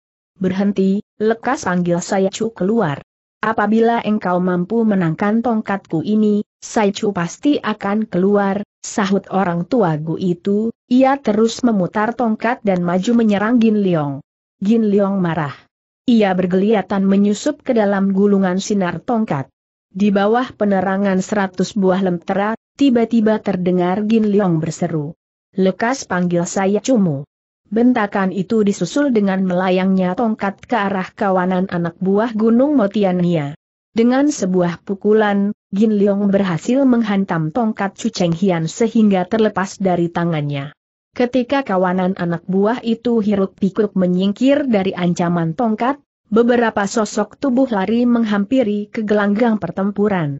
Kembali terdengar sorak-sorai menyambut kedatangan orang itu. Tetapi Chu Cheng Hian sudah tak menghiraukan suatu apa. Seperti orang gila, dia segera menyerang Gin Leong dengan tangan kosong. Chu Cheng Hian berhenti. Aku hendak menghadapi budak itu lagi seru pendatang itu. Gin Leong cepat dapat mengenali orang yang loncat ke hadapannya itu sebagai Sitiat Lohan. Saat itu Gin Leong berhasil mencengkeram tangan tongkat halilintar Chu Cheng Hian. Tetapi orang tua itu masih penasaran, Tiba-tiba ia ayunkan kaki menendang bawah perut Gin Leong. Melihat orang tua itu begitu keras kepala, Gin Leong marah lalu mendorongnya ke muka. Chu Cheng Hian terhuyung-huyung seperti layang-layang putus tali dan tepat menyongsong kedatangan Tiat Lohan. Celaka, teriak Tiat Lohan yang kasar dan berangasan tetapi benturan tepat tak dapat dihindarkan, beluk, kembali Chu Cheng Hian harus terbanting ke tanah lagi. Huh, Salahmu, salahmu, bukankah aku sudah suruh engkau menyingkir nah, akhirnya kita benturan sendiri seru Tiati Ohon bersungut-sungut. Melihat itu Gin Leong hampir tak kuat menahan gelinya. Kali ini Chu Cheng Hian benar-benar menderita. Tubuhnya gemetar, keringat dingin mengucur dan ia terduduk di tanah tak dapat bangun. Cutua, seru Tiat Lohian si muka hitam sambil menyeringai jangan engkau penasaran kepadaku tetapi salahkan budak itu karena telah mendorong tubuhmu begitu deras, lihatlah, akan kupukulnya untuk membalaskan penasaranmu. Habis berkata si muka hitam Tiat Lohon terus berputar tubuh dan berseru nyaring. Budak liar, apa engkau tak mengerti aturan menghormat orang tua? Mengapa engkau mendorong si tuacu? Tring ia benturkan sepasang senjatanya yaitu pukul besi segi delapan, lalu melangkah ke tempat Gelin Leong. Tiba-tiba dari luar gelanggang terdengar derap lari empat orang menuju ke tempat pertempuran itu, serentak suasana hening karena berpuluh-puluh anak buah Motian San itu tak berani buka suara lagi. Si limbung Tiat Lohon hentikan langkah dan berpaling. Demikian pun Gin Leong, segera ia melihat empat orang, tiga lelaki dan seorang wanita, tegak berdiri pada jarak lima tombak dari gelanggang. Lelaki yang berdiri di tengah, berumur sekitar 45-46 tahun, mengenakan jubah warna emas dan topi dari kulit harimau tutul. Alis melengkung seperti pedang, mati menyala, hidung pesek, bibir tipis dan jenggotnya menjulai sampai ke dada, sepintas pandang menyerupai seorang hartawan, bukan orang persilatan. Dia adalah pemimpin dari golongan tokoh-tokoh silat aliran hitam dari Saiwa, luar perbatasan, bernama Tio Tok Beng, gelar Xiao Yau Ihsu atau Pertapa Bebas. Berdiri di sebelah kirinya, seorang lelaki beralis lebat, metu, tajam, hidung panjang dan jenggotnya tebal menjulai ke dada. Umurnya sekitar 41-42 tahun, berpakaian ringkas warna hijau, kopiah kulit bajing, punggungnya menyanggul sepasang senjata Hao Jiu Kongkau atau sepasang kait baja. Dia adalah jago nomor tiga dan persaudaraan Tio, bernama Tio Tok Giam gelar Senitun. Sepasang kaitnya sangat dimalui oleh seluruh kaum liok lima atau rimba hijau, istilah untuk menyebut dunia penyamun. Di belakang kedua orang itu adalah Motian Giokli atau bidadari dari Gunung Motian Santiolikun. Di sampingnya, adalah engkohnya si Bong Kim Kong. Melihat bahwa yang menyelundup ke atas gunung itu bukan lain pemuda cakap siang tadi, Tio Likun tertegun dan memandang lekat pada Gin Leong. Toako, seru si limbung Tiat Lohon demi melihat Tio Tek Beng, yang memukul Suko santai jatuh dari kuda adalah budak ini. Suko yang dimaksudi adalah engkoh nomor 4 atau Bong Kim Kong. Sudah tentu Bong Kim Kong merah mukanya dan cepat berseru marah, Toako sudah tahu. Melihat tengkohnya marah, si limbung Tiat Lohon menyengir dan tak berani buka suara lagi. Gin Leong segera mengetahui bahwa yang disebut Toako itu tentulah lelaki yang dandanannya mirip orang hartawan itu. Cepat ia memberi hormat, serunya. Aku yang rendah ini Xiao Gin Leong bersama Hoa Cici kebetulan melalui gunung ini. Karena kuda membina Loa Cici sampai dibawa ke daerah terlarang dan jatuh dalam perangkap anak buah markas Motiania. Mengingat kami tak sengaja telah memasuki daerah terlarang dan gunung ini, maka kumohon saya suka membebaskan taci itu, sebelumnya kuhaturkan banyak terima kasih. Tampak Tiotek Beng agak tertegun seperti tak tahu akan peristiwa itu. Kemudian ia berpaling memandang ke arah Cuceng Hian yang masih duduk di tanah, serunya. Di mana Tachi Xiao Hiap telah terjatuh dalam perangkap sebelah timur dari mulut lembah ini, sahut Gin Leong. Tio Tek Giam, jago ketiga, segera berseru, To aku. Menurut laporan dari pos timur bukit, seorang dengan naik kuda hitam telah masuk ke dalam lembah, karena barisan panah tak mampu merintangi, terpaksa dilakukan hujan balok. Yang masuk ke dalam lembah itu, adalah aku sendiri seru Gin Leong. Tiotek Giam kerutkan dahi, serunya. Tanpa menurut peraturan kaum persilatan terus menerobos masuk ke markas. Tidak menghiraukan segala peringatan yang diberikan. Mendengar itu Tio Likun gelisah, khawatir kalau sampai terbit salah faham, maka cepat-cepat ia menukas ucapan engkohnya. Semko, Kuda dari Xiao Sao Hiap itu seekor kuda istimewa yang luar biasa pesatnya, mungkin Xiao Sao Hiap hendak buru-buru menghadap Toako. Kuda memang tak kenal aturan, tetapi masakan demikian juga penunggangnya dengus Tio Tek Giam. Tio Likun terkejut ia khawatir Gin Leong tentu marah. Dan memang benar, Gin Leong berteriak keras raya loncat ke muka dan menuding Tio Tek Giam. Tutup mulutmu. Siapa yang engkau katakan tak tahu aturan itu? Tiotek Giam jago ketiga dari Gunung Motian Sandeliki metu dan membentak.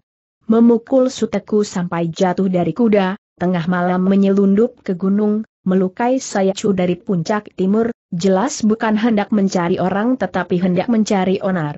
Ia berhenti dan tertawa mengekeh, kalau saat ini tak mau mengatakan terus terang, jangan harap engkau dapat tinggalkan tempat ini. Mendengar itu Gin Leong menengadahkan kepala dan menghamburkan kemarahannya dalam sebuah tertawa yang nyaring dan panjang. Para anak buah terkesiap bahkan Bong Kim Kong dan Tiat Loham pun tergetar hatinya lalu bersiap-siap turun tangan. Di antara kelima persaudaraan Tio yang berada di situ, hanya Tio Likun seorang yang berubah cahaya mukanya. Dia bingung melihat Toakonya dam saja. Padahal ia tak tahu bahwa sebenarnya Toakonya itu sedang memperhatikan dengan tajam anak muda yang gagah itu. Jangankan ratusan anak buah kalian, pun semua alat-alat perangkap dari Gunung Motiansan ini, tak mungkin mampu menahan kepergianku, seru Gin Leong. Budak bermulut besar teriak Tio Tek Giam seraya dorongkan kedua tangannya yang telah disaluri dengan tenaga penuh. Gin Leong pun menggembor dan ayunkan tangannya menghantam. Terdengar suara benturan keras dan tubuh jago ketiga dari Gunung Motian Nia itu terhuyung-huyung beberapa langkah ke belakang. Tio Likun melengking dan loncat menyanggupi tubuh engkohnya. Dipandangnya Gin Leong dengan sorot mata tajam. Tio Tek Beng saudara tertua dari ketujuh jago Gunung Motian San terkejut, dilihatnya Gin Leong masih tegak berdiri dengan wajah tenang. Ia tak mengira sama sekali bahwa hanya dengan pukulan sebelah tangan, pemuda itu dapat melemparkan Tio Tek Giam. Tio Tek Giam sendiri cepat-cepat menyalurkan napas, tetapi ia dapatkan dirinya tak terluka sama sekali, mau tak mau ia memandang Jit Moainya Tio Likun dengan terlongong, seperti hendak mengatakan, eh, mengapa aku tak menderita luka apa-apa? Budak, terimalah palu besiku ini lagi tiba-tiba si limbung tiat lohon berseru seraya loncat dan menghantam dengan kedua palu besinya. Yang kiri menghantam lambung Gin Liong, palu besi yang kanan menghantam kepala pemuda itu sekaligus ia lancarkan dua jurus serangan. Gin Liong hanya tertawa dingin, Sekali bergeliat ia sudah menyelinap di belakang orang limbung itu. Tetapi dia tak mau menyerangnya. Si limbung tiat lohon terlongong-longong karena sasarannya tiba-tiba hilang. Dia baru terkejut ketika engkohnya nomor empat yakni Bong Kim Kong berteriak, Longko, di belakangmu. Tiat lohon gelagapan dan cepat memutar sepasang palu besi dihantamkan ke belakang, seraya berseru angkuh, aku memang sudah tahu. Tetapi alangkah kejutnya ketika Gin Leong tak berada di belakang. Kurang ajar, engkau sembunyi di belakang lagi, kali ini dia tak mau berputar tubuh melainkan lontarkan palu besi sebelah ke belakang. Entah bagaimana terhadap orang limbung itu Gin Leong tak sampai untuk turun tangan, begitu ia loncat ke belakang si limbung dan baru saja berdiri tegak, tiba-tiba palu besi sudah menyambar ke mukanya. Dalam kejut Gin Leong pijakan kaki ke tanah dan melambung sampai tiga tombak ke udara. Motian Giok Li Tioli Kun berteriak kaget. Seluruh anak buah gunung Motian sampun memekik gempar. Masih di tengah udara, Gin Leong sempatkan diri untuk melihat apa yang terjadi, ternyata palu besi yang dilontar si limbung Tiat Lohon tadi karena luput mengenai Gin. Leong, melayang ke arah tongkat halilintar Cuceng Hian yang masih duduk di tanah. Tongkat halilintar mendelik ketika melihat mukanya akan disambar palu besi. Cepat ia gunakan ilmu Kiu Tesip Pat Kun atau 18 kali berguling-guling di tanah. Dia berhasil bergelundungan sejauh tiga tombak, lalu hantamkan kedua tangannya ke tanah dengan meminjam tenaga pukulan itu tubuhnya melambung dua tombak ke udara. Berhasillah ia menghindar palu besi dengan indah sekali. Bum titik palu besi itu tepat menghantam tempat bekas diduduki Cuceng Hian tadi. Tanah munkrat, pasir pun berhamburan ke empat penjuru. Ketika melayang turun ke tanah, Cuceng Hian berdiri dengan wajah pucat, keringat mengucur deras. Mendengar teriakan gempar tadi, si limbung Tiat Lohon mengira kalau timpukan palu besinya mengenai Gin Leong. Cepat ia berpaling dan Hua, hua, hua titik si limbung memekik-mekik seperti orang kalap ketika melihat apa yang terjadi. Lonai-nai datang tiba-tiba kelompok anak buah Motian San sebelah selatan berseru serentak mereka pun menyingkir ke samping untuk memberi jalan. Xiao Ye Aui Su Tio Tek Beng, Seni Tun Tio Tek Giam serentak terkesiap, Tiat Io Ham pun berhenti memekik-mekik. Tio Likun dan Chong Kim Kong lari menyambut. Gin Leong hanya memandang dengan penuh keheranan, jauh di sebelah selatan, tampak tiga sosok bayangan berlari pesat seperti terbang. Yang di muka, seorang wanita tua berumur tahun 1980-an tahun, wajahnya ramah, memegang sebatang tongkat perak. Di belakangnya, seorang pemuda berumur 26-27 tahun, berwajah cakap dan mengenakan pakaian sutra putih. Pemuda itu adalah engkoh keenam dari Tio Likun. Namanya Tio Tek Chun bergelar Xiao Bun Hou. Sedang yang seorang lagi seorang budak perempuan yang lincah dan masih kekanak-kanakan berpakaian warna merah tua. Begitu wanita tua itu tiba maka ratusan anak buah Gunung Motian San segera bersorak riuh, Lonai Nai, terimalah hormat kami. Wanita tua itu tersenyum seraya mengangkat tangannya memandang ratusan anak buah Mo Tian San, lalu memberi anggukan kepala. Tio Likun dan Bong Kim Kong serta merta berseru, Mah. Demikian pula dengan Tio Tek Bieng dan Tio Tek Giam. Mereka bergegas menghampiri dan memberi hormat kepada mamahnya dan Cu Cheng Hian demikian juga. Si Limbong Bong Kim Kong lalu menghampiri wanita tua itu dan berseru, Mah mengapa engkau tak membaca kitab saja tetapi datang kemari?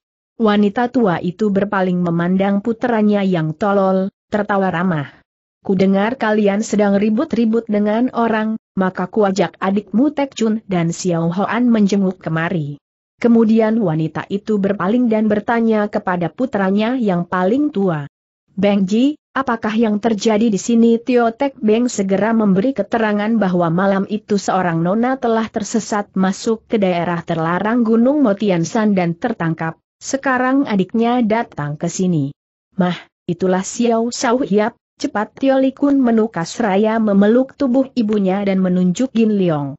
Gin Liong mempunyai kesan baik terhadap wanita tua yang berwajah ramah itu. Waktu dirinya ditunjuk Tio Likun, ia terus berjalan menghampiri wanita tua itu. Terkesiap wanita tua itu demi melihat seorang pemuda berwajah cakap dan terang, menghampiri ke tempatnya ia mempunyai kesan baik lalu memandang Tiolikun, putri tunggalnya, dilihatnya puterinya tersipu-sipu merah mukanya. Diam-diam wanita tua itu girang hatinya, ia tersenyum. Budak perempuan, bukan saja engkau, tetapi mamah pun ingin lekas-lekas melaksanakan harapanmu, katanya dalam hati. Rupanya Tio Tek Bieng tahu akan gerak-gerik adik perempuannya, segera ia berpaling dan mengisiki tongkat halilintar Cheng Hian. Orang si Cu itu mengangguk lalu melangkah masuk ke dalam barisan anak buahnya. Bo Ampu Xiao Gin Leong menghaturkan hormat kehadapan Lo Chiam Pual, seru anak muda itu manakala sudah tiba di hadapan wanita tua. Ah, harap Xiao Sao Hiap jangan pakai banyak peradatan, kata wanita tua seraya tertawa gembira. Kemudian metunyonya Tio tua itu menelusuri tubuh Gin Leong dengan penuh perhatian, seolah-olah seperti seorang mertua yang sedang menaksir-naksir seorang menantu. Si Limbung Tiat Lohon maju selangkah dan berkata, Mah, yang memukul Suko jatuh dari kuda adalah pemuda ini. Melihat dirinya dilaporkan pada mamanya, sudah tentu Bong Kim Kong marah ia mendengus geram, Hai Sute, mana palu besi milikmu? Huh, inilah, seru si Limbong Seraya menunjukkan kedua palu besinya. Tetapi ketika melihat palu besinya itu berlumuran lumpur, baru-baru ia membersihkan dengan ujung bajunya seraya menggerutu, huh, si cu tua itu hanya mengambilkan palu besi ini tetapi tak mau membersihkan. Melihat tingkah laku dan ucapan si Limbung, Gin Leong tak kuasa menahan gelinya. Tio Kun tersipu-sipu malu, ia mengira Gin Leong menertawakan dirinya karena pemuda itu sudah dapat mengetahui isi hatinya. Rupanya Nyonya Tio tua amat sayang kepada putranya yang limbung itu, ia tak mau mendampratnya melainkan berpaling memandang Gin Leong lagi. Siapakah nama yang mulia dari suhu Xiao Sao Hiap tanyanya.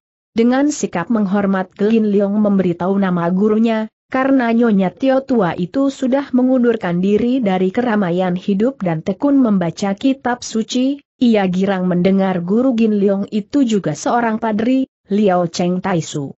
Tiba-tiba Gin Leong pun teringat akan kematian yang mengenaskan dari suhunya. Ingin sekali ia cepat-cepat menuju ke Hangsi untuk menemui Ban Hang Leong Li. Serentak ia menyatakan kepada Nyonya Tio tua bahwa ia masih mempunyai suatu urusan penting sehingga tak dapat tinggal lebih lama di situ. Ia minta agar Molan Hwa dibebaskan. Setelah urusan selesai, Bo Ampo tentu akan mengunjungi gunung ini lagi untuk mengaturkan hormat kepada Lo Poe dan minta maaf kepada para sayacu di sini, katanya. Sebagai penutup, ia membungkukkan tubuh memberi hormat. Mendengar sikap Gin Leong begitu berduka atas kematian suhunya taulah Nyonya Tio bahwa pemuda itu seorang yang berbudi luhur. Diam-diam wanita tua itu makin puas. Demi mendengar Gin Leong hendak buru-buru menyelesaikan urusannya, walaupun tahu Tio Likun tentu akan kecewa, tetapi Nyonya Tio tak mau mempersulit pemuda itu. Bengji, di manakah Tachi Xiao Sao Hiap sekarang tanyanya kepada Tio Tek Beng.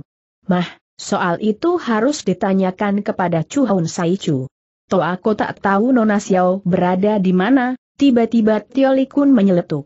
Mendengar itu Gin Liong tampil ke depan dan menjelaskan, Tachi Hoa itu bukan orang si Xiao. Dia Simo, namanya Lan Hwa. Mendengar itu Tio Tek Chun yang sejak datang tak pernah buka suara, serentak maju ke muka dan berseru. Xiao Xiao Hiap, Molan Hwa itu apakah bukan Xiao Sumoai dari pipa emas Hok Tu Beng? Ya, benar memang nona itu, seru Gin Leong berseri girang. Tetapi ketujuh saudara Tio serentak berubah mukanya, Tio Tek Chun serentak berpaling mencari Chu Cheng Hian, kebetulan orang Si Chu itu tengah bergegas muncul dari barisan anak buahnya. Molan Hwa seru Tio Tek Chun. Chu Cheng Hian tertegun. Nona yang keliru memasuki daerah terlarang itu adalah Xiao Sumuai dan pipa emas Hok Tu Beng ialah Nona Molan Hwa, seru Nyonya Tio tua pula. Chu Cheng Hian tenangkan diri dan memberi keterangan, tadi Ji saya Cutin Kuuntong kebetulan datang ke Gunung Timur, demi melihat Nona itu berada dalam jaring, ia berteriak menyebut Xiao Moai lalu membuka jaring itu sendiri dan mengajak si Nona pulang ke markas. Mah, aku hendak pulang memeriksanya, bergegas Tio Tek Chun berkata lalu lari menuju ke puncak di sebelah muka. Melihat ketujuh saudara Tio itu agak gugup ketika mengetahui Molan Hwa itu adik seperguruan dari pipa emas Hok Tu Beng, Gin Leong segera memberi penjelasan. Adalah karena kudanya binama kata Chi Hwa sampai masuk daerah terlarang dan terjerumus dalam jaring perangkap, soal itu tak dapat menialahkan siapa apa. Mungkin Xiao Sao Hiap belum jelas akan keadaan yang sebenarnya. Nona Mo itu sangat disayang sekali oleh ketiga tokoh Swat Tian Sam Yeu. Mereka menurut saja apa yang Nona itu minta. Apabila peristiwa ini sampai terdengar oleh Swat Tian Sam Yeu, wah, runyam juga, pipa emas dan kakek pemabuk, masih dapat dilayani, tetapi si gila Hang Tian Soh itu paling sukar dihadapi. Dia paling sayang kepada Xiao Sumuainya Nona Molan Hwa, Xiao Yau Esu Tio Tek Beng cepat menjelaskan. Maka setiap orang yang tahu akan hubungan mereka, tak ada yang berani mengganggu Nona Mo, ia menambahkan pula. Gin Leong termenung tiba-tiba ia melihat wajah Tio Likun tidak senang tadi, ia pun mendapat kesan bahwa Nona Jelita itu lebih anggun wajahnya dari Kioklan. Rupanya si Limbung Tiat Lohon tak puas mendengar keterangan Toakonya, ia membenturkan sepasang palu besinya dan mendengus marah. Hektometer, apa itu pipa emas, pipa perak dan suatian Sam Yeu? Begitu berjumpa dengan aku si Tiat Lohon ini tentu akan kuhajar dengan sepasang palu besiku ini. Tolol, jangan menggila. Mari kita lekas pulang untuk menjenguk Nona Mo itu. Sudahlah, Apabila peristiwa ini terdengar Suat Tian San Yeu akulah yang akan menghadapinya, kata Nyonya Tio Tua. Kemudian dengan wajah yang ramah, Nyonya Tua itu mengajak Gin Leong ke markas karena Molan Hwa sudah berada di sana. Gin Leong meragu ia teringat akan sumoainya, Kiok Lan yang menunggu di hotel dalam kota Hangxia. Apakah Xiao Sao Hiap masih ada urusan lain lagi tanya Tio Tek Beng. Dengan terus terang Gin Leong menerangkan tentang sumuainya yang menunggu di hotel kota Hangxia. Apabila besok pagi-pagi ia tak datang, sumuainya tentu gelisah. Menginap di hotel apakah sumuai Xiao Sao Hiap itu tanya Tio Tek Giam. Hotel Koliong, sahut Gin Leong. Mendengar itu Tio Tek Giam segera minta kepada Toakonya supaya melepas burung dara pembawa surat, memberitahu kepada ketua cabang di kota Hangxia supaya besok pagi-pagi mengirim orang menemui Nonaki dan memberitahukan bahwa Xiao Gin Leong berada di markas persaudaraan Tio di Gunung Motiansan. Tio Tek Beng menyetujui Gin Leong menghaturkan terima kasih kepada persaudaraan Tio atas bantuan mereka. Demikianlah Nyonya Tio dengan diiringi oleh putra-puterinya dan seluruh anak buah Gunung Motiansan segera membawa Gin Leong menuju ke markas besar. Markas itu terletak dalam lembah. Terdiri dari beberapa bangunan gedung yang indah, Setelah melalui beberapa bangunan dan lorong akhirnya masuklah mereka ke dalam sebuah gedung. Di situ telah menunggu para menantu dari Nyonya Tio Tua. Ternyata memang Molan HWA sudah menunggu dalam ruang itu pertemuan itu amat menggembirakan sekali.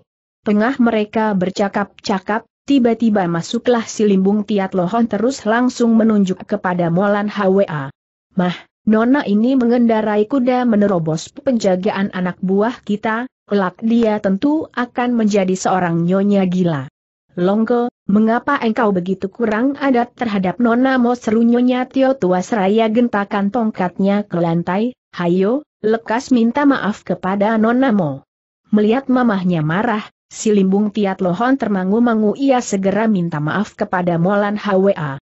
Nyonya Tio Tua pun segera menyuruh menyediakan hidangan untuk menghormat kedua tetamunya. Gin Leong tahu bahwa Nyonya Tio Tua itu dahulu adalah pendekar wanita lok yang lihiap yang termasyhur ia makin menaruh hormat kepada Nyonya Tua itu. Demikian pula dengan Nyonya Tio Tua. Tahu bahwa Gin Leong itu murid dari pelajar muka tertawa Kiong Chuhun, ia semakin berkenan dalam hati. Diam-diam putra-putra juga tahu bahwa mamahnya itu amat setuju dengan Gin Leong. Bahkan si Limbung Tiat Lohon yang suka bicara secara belak-belakan pun tahu kalau mamahnya suka kepada pemuda itu. Mah, kulihat engkau malam ini sangat gembira sekali, mulut terus terbuka tertawa-tawa saja. Kalau memang suka, mengapa tak memungut budak laki itu sebagai putra angkat? Mendengar itu gemparlah suasana perjamuan. Semua mata mencurah ke arah si limbung. Si limbung melongo.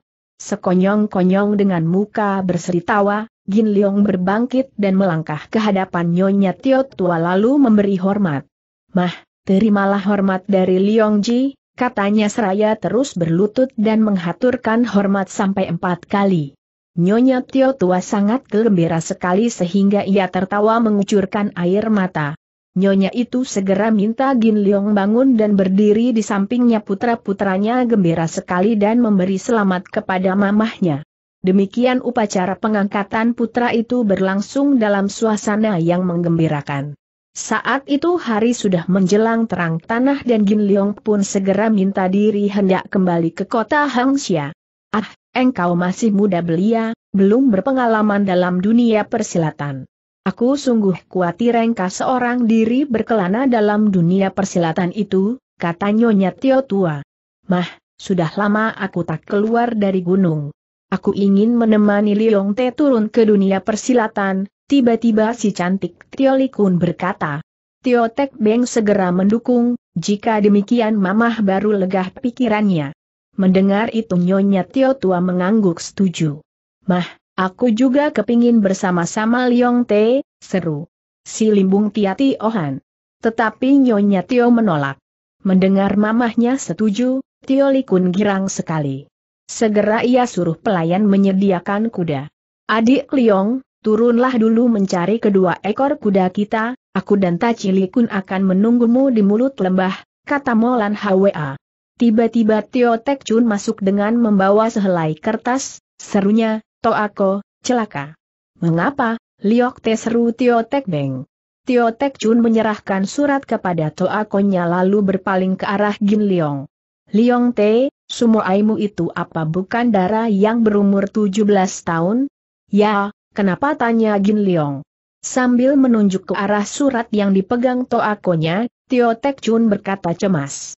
Menurut surat dari ketua cabang kita di Hangxia, Semalam seorang dara baju putih yang bermalam di Hotel Kolyong telah berkelahi dengan Hun Tiap Samelong, salah seorang tokoh dari kedelapan Tiat Sanpat Koai. Pagi tadi Jongos Hotel mengatakan bahwa dara baju putih sudah menghilang.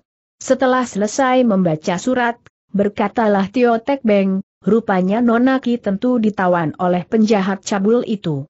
Mendengar itu merah padamlah muka Gin Leong, Segera ia menghampiri keharapan Nyonya Tio dan mohon diri. Setelah memberi hormat, ia terus melesat keluar. Liong Te, tunggu, seru Tio Tek Beng, Gin Liong hentikan langkah, harap Liong Te jangan gegabah, Tiat San itu sangat berbahaya, kedelapan Tiat San Pat Koai itu pun teramat ganas sekali. Baiklah, Harap Toako jangan khawatir, kata Gin Leong, sekalipun Tiatsan itu sebuah neraka, aku tentu dapat mengobrak-abriknya. Habis berkata Gin Leong terus melesat pergi Leong Ji, hati-hatilah, Nyonya Tio Seraya menyuruh Tio Likun segera menyusul pemuda itu, lekas kalian berdua menemani Leong Ji. Tio Likun dan Xiao Hoan girang sekali. Sambil menarik tangan Molan HWA, Tio Likun berseru kepada Tio Tek Chun, Lioko, mah kita segera berangkat. Mereka bertiga segera melesat keluar. Melihat Liong Te dan Jit Muainya pergi, si Limbung Tiat Ioham pun minta izin kepada mamahnya. Karena khawatir Gin Liong tak cukup tenaganya Nyonya Tiok pun mengizinkan si Limbung Tiat Lohon ikut. Tek Chun naik kuda merah dan si jelita Tio Likun naik kuda putih, sedang Molan HWA mengikuti di belakang kuda putih itu. Setelah menunggu beberapa saat, Akhirnya Gin Leong pun tiba dengan naik kuda hitam dan kuda hitam kaki putih. Mereka segera berangkat turun gunung, rupanya Gin Leong terburu-buru sekali hendak mengetahui berita sumuainya, ia mencongklangkan kuda hitamnya dan meninggalkan ketiga kawannya di belakang. Tiba di kota Hangxia. Molan Hwa bertiga tak melihat bayangan Gin Leong lagi, mereka segera mencari rumah penginapan Ko Leong. Ternyata Gin Leong memang sudah berada di situ, Gin Leong menerangkan bahwa laporan kepala cabang itu memang benar, Kiok Lan sudah lenyap. Mereka berempat segera meninggalkan kota Hangxia. Tetapi mereka dikejutkan oleh munculnya si Limbung Tiat Lohan. Si Limbung tertawa-tawa girang sekali karena dapat bertemu dengan keempat anak muda itu. Hai, siapa yang suruh engkau menyusul tegur Tio Likun? Mamah, sahut si Limbung, bukankah kalian hendak menuju ke Gunung Tiapsan? Hayo, aku yang menjadi penunjuk jalan. Tengah hari mereka tiba di Pakuan. Si Limbung menggerutu panjang pendek karena perutnya lapar, akhirnya Gin Leong setuju untuk beristirahat mengisi perut di sebuah rumah makan. Si Limbung pun segera pesan beberapa macam hidangan yang lezat. Dalam pada itu Gin Leong memperhatikan bahwa para tetamu rumah makan itu kebanyakan adalah orang-orang persilatan dan kaum pedagang. Orang tua itu memang aneh sekali. Beberapa hari yang lalu katanya berada di sebuah lembah gunung Tiang Peksan, kemarin sudah lari lagi ke Taisip Kiau titik kata seorang tetamu. Gin Leong tertarik perhatiannya dan melirik. Di sebelah meja di tengah ruangan, penuh diduduki orang-orang persilatan. Ada yang tua ada yang muda. Dan yang bicara itu adalah seorang lelaki pertengahan umur, berwajah merah. Keadaan orang tua itu memang aneh, asal jangan mengganggu cermin pusakanya, dia pun dam saja. Tetapi kalau cermin itu diganggu, baru dia akan membunuh. Kemudian orang itu berkata kepada seorang tua, Tio Lopeh, kalau pergi ke sana kita hanya melihat-lihat saja, Jangan sekali-kali ikut turun tangan. Yang dipanggil Paman Tio itu tertawa, peristiwa itu sebenarnya sudah diketahui oleh dunia persilatan. Hanya saja, sampai saat ini belumlah seorang pun yang tahu siapa sesungguhnya orang tua pembawa cermin itu. Yang mati tempo hari ialah pengemis jahat kaki telanjang, pada Rihoa dan nenek buta tongkat burung bangau. Ia menghela napas, kemudian melanjutkan kabarnya saat ini Kim Piao Mato Akong dari Partai Tiam Jong Pei, Bu Tim Jin dari Kiong Lepe dan seorang Loti yang dari Kong Tong Pei menuju ke Taisip Kiao. Tertarik hati Gin Leong akan percakapan itu. Asal menuju ke Taisip Kiao, ia tentu dapat menemukan orang itu, tetapi saat itu ia harus ke Gunung Tiatsan untuk membebaskan sumoainya. Pembicaraan orang-orang yang berada di meja tengah itu, kebanyakan berkisar tentang diri orang tua pembawa cermin Gin Leong dapatkan Molan Hwa dan kawan-kawan, juga mendengarkan dengan penuh perhatian. Hanya si limbung tiat lohon yang masih enak-enak melahap ayam panggang dan arak. Tiba Gin Leong terkejut karena melihat Xiao Bun Hao Tio Tek Chun tengah memandang ke belakang tubuhnya dengan mata berapi-api. Ketika Gin Leong berpaling dilihatnya tak jauh dari tempat duduknya, dua orang paderi dan imam sedang duduk menghadapi pinggang dan cawan arak yang sudah kosong, rupanya mereka sudah kenyang makan minum. Si paderi mengenakan jubah hitam, punggungnya menyanggul sebatang senjata macam sekop yang diikat dengan gelang. Alis tebal mata besar, matanya berkilat-kilat jahat. Si imam mengenakan jubah bersulampat kua, menyanggul pedang pada punggungnya, sepasang matanya yang jelalatan menandakan dia seorang yang licik dan ganas. Kedua paderi dan imam itu memandang tak berkedip ke arah Molan HWA. Mulutnya berkomat kamit seperti menelan air liur. Sudah tentu Gin Leong marah tetapi karena ia tak ingin menimbulkan onar, maka memberi isyarat metu kepada Tek Chun supaya bersabar. Hektometer, walaupun menurut Tak Urung Tek Chun mendengus geram untuk menyalurkan kemarahannya. Mendengar itu Tiat Lohon berpaling, tetapi saat itu Gin Leong cepat menuang arak pada keempat kawannya. Melihat arak, Tiat Lohan lupa malah. Segera ia menyambar dan terus meneguknya. Tio Tek Chun serta Merta pun segera menghaturkan arak kepada Molan HWA. Nona itu diam-diam memperhatikan sikap Tek Chun yang begitu hangat dan mesra kepadanya. Diam-diam Gin Leong pun memperhatikan bahwa sejak kemarin malam, memang Tek Chun sangat menaruh perhatian istimewa terhadap Lan HWA, ia membayangkan bahwa kedua muda-mudi ini memang merupakan sejoli yang amat cocok sekali. Apabila keduanya dapat terangkap jodoh, wah, ia pun ikut gembira. Memikir sampai di situ, diam-diam Gin Leong seperti terlepas dari suatu tindihan asmara. Bidadari Motian Santiolikum pun memperhatikan betapa mesra engkohnya Tek Chun itu bersikap terhadap Lan HWA. Pun ia memperhatikan bahwa dalam soal itu ternyata Gin Leong malah mendukung. Dengan demikian, timbullah harapan makin besar hati bidadari dari Gunung Motian San itu terhadap Gin Leong. Tetapi dikala membayangkan betapa girang Gin Leong memikirkan sumuainya, diam-diam hati Tiolikun agak rawan. Setelah seusai makan dan membayar kening, mereka dapatkan kedua paderi itu sudah pergi. Kedua paderi dan imam itu tentu murid-murid perguruan agama yang bejat, kata Gin Leong. Kita masih mempunyai urusan penting yang harus dikerjakan lebih baik, jangan cari perkara lain. Tiba-tiba si jelita Tiolikun menyeletuk. Hai, urusan apa tiba-tiba si limbung Tiat Lohon berseru. Bukan urusanmu tukas Tiolikun.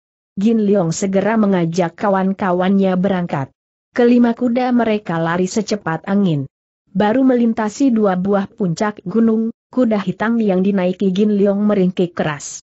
Ternyata tak jauh di sebelah muka, tampak dua ekor kuda sedang berjajar menghadang jalan. Siapa lagi kalau bukan kedua paderi dan imam yang makan di rumah makan tadi. Kedua manusia itu rupanya memang sudah bosan hidup, kata Tek Chun. Aku saja yang mengantar mereka pulang ke akhirat, tiba-tiba si limbung Tiat Lohon berseru, mencabut sepasang palu besi. Padri dan imam itu tertawa gelak-gelak, serunya, aha, ternyata Buddha telah memberi kemurahan kepada kami berdua untuk mendapatkan apa yang kita ingini. Mereka mencabut senjata dan memutar-mutar jual kegarangan. Kuda hitam, kuda hitam kaki putih dan kuda putih tiba-tiba meringkik keras dan menerjang ke muka dan wut, wut, wut. Ketiga ekor kuda itu pun loncat ke udara melayang melampaui kepala kedua paderi dan imam. Kedua paderi dan imam itu pucat wajahnya menjerit dan tundukkan kepala, keringat dingin mengucur deras.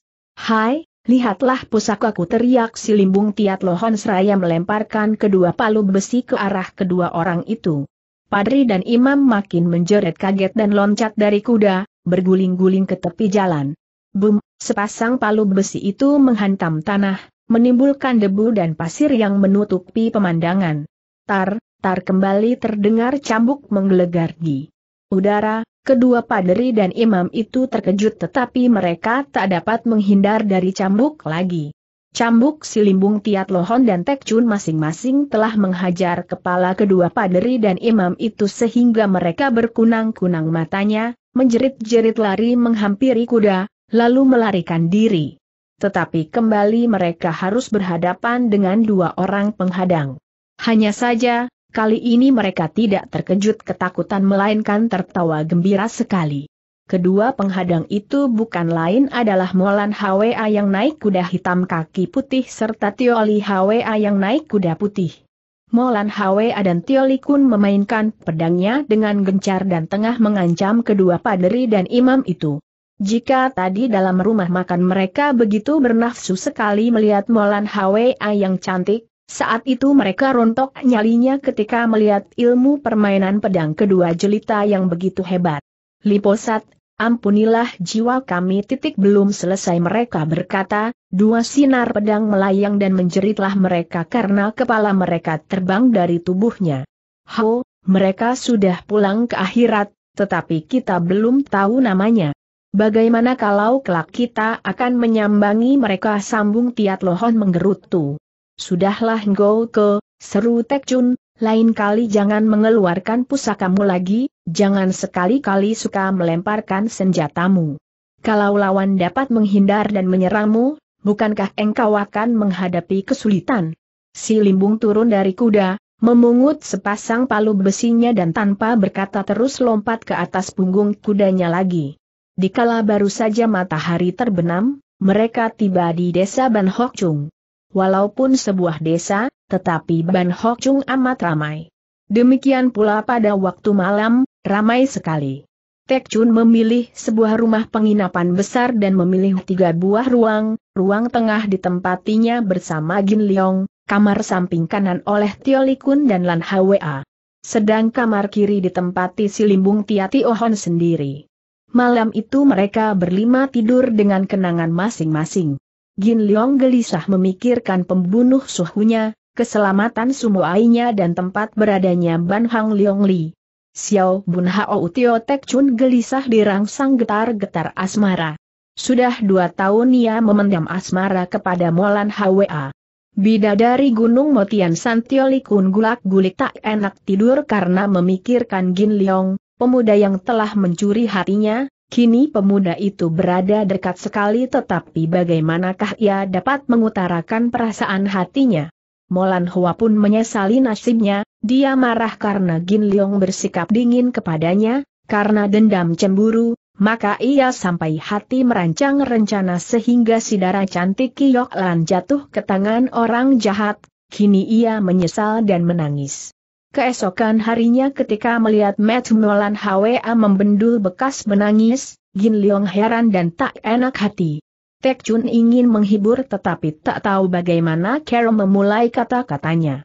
Demikian pula dengan Tio Li Kun.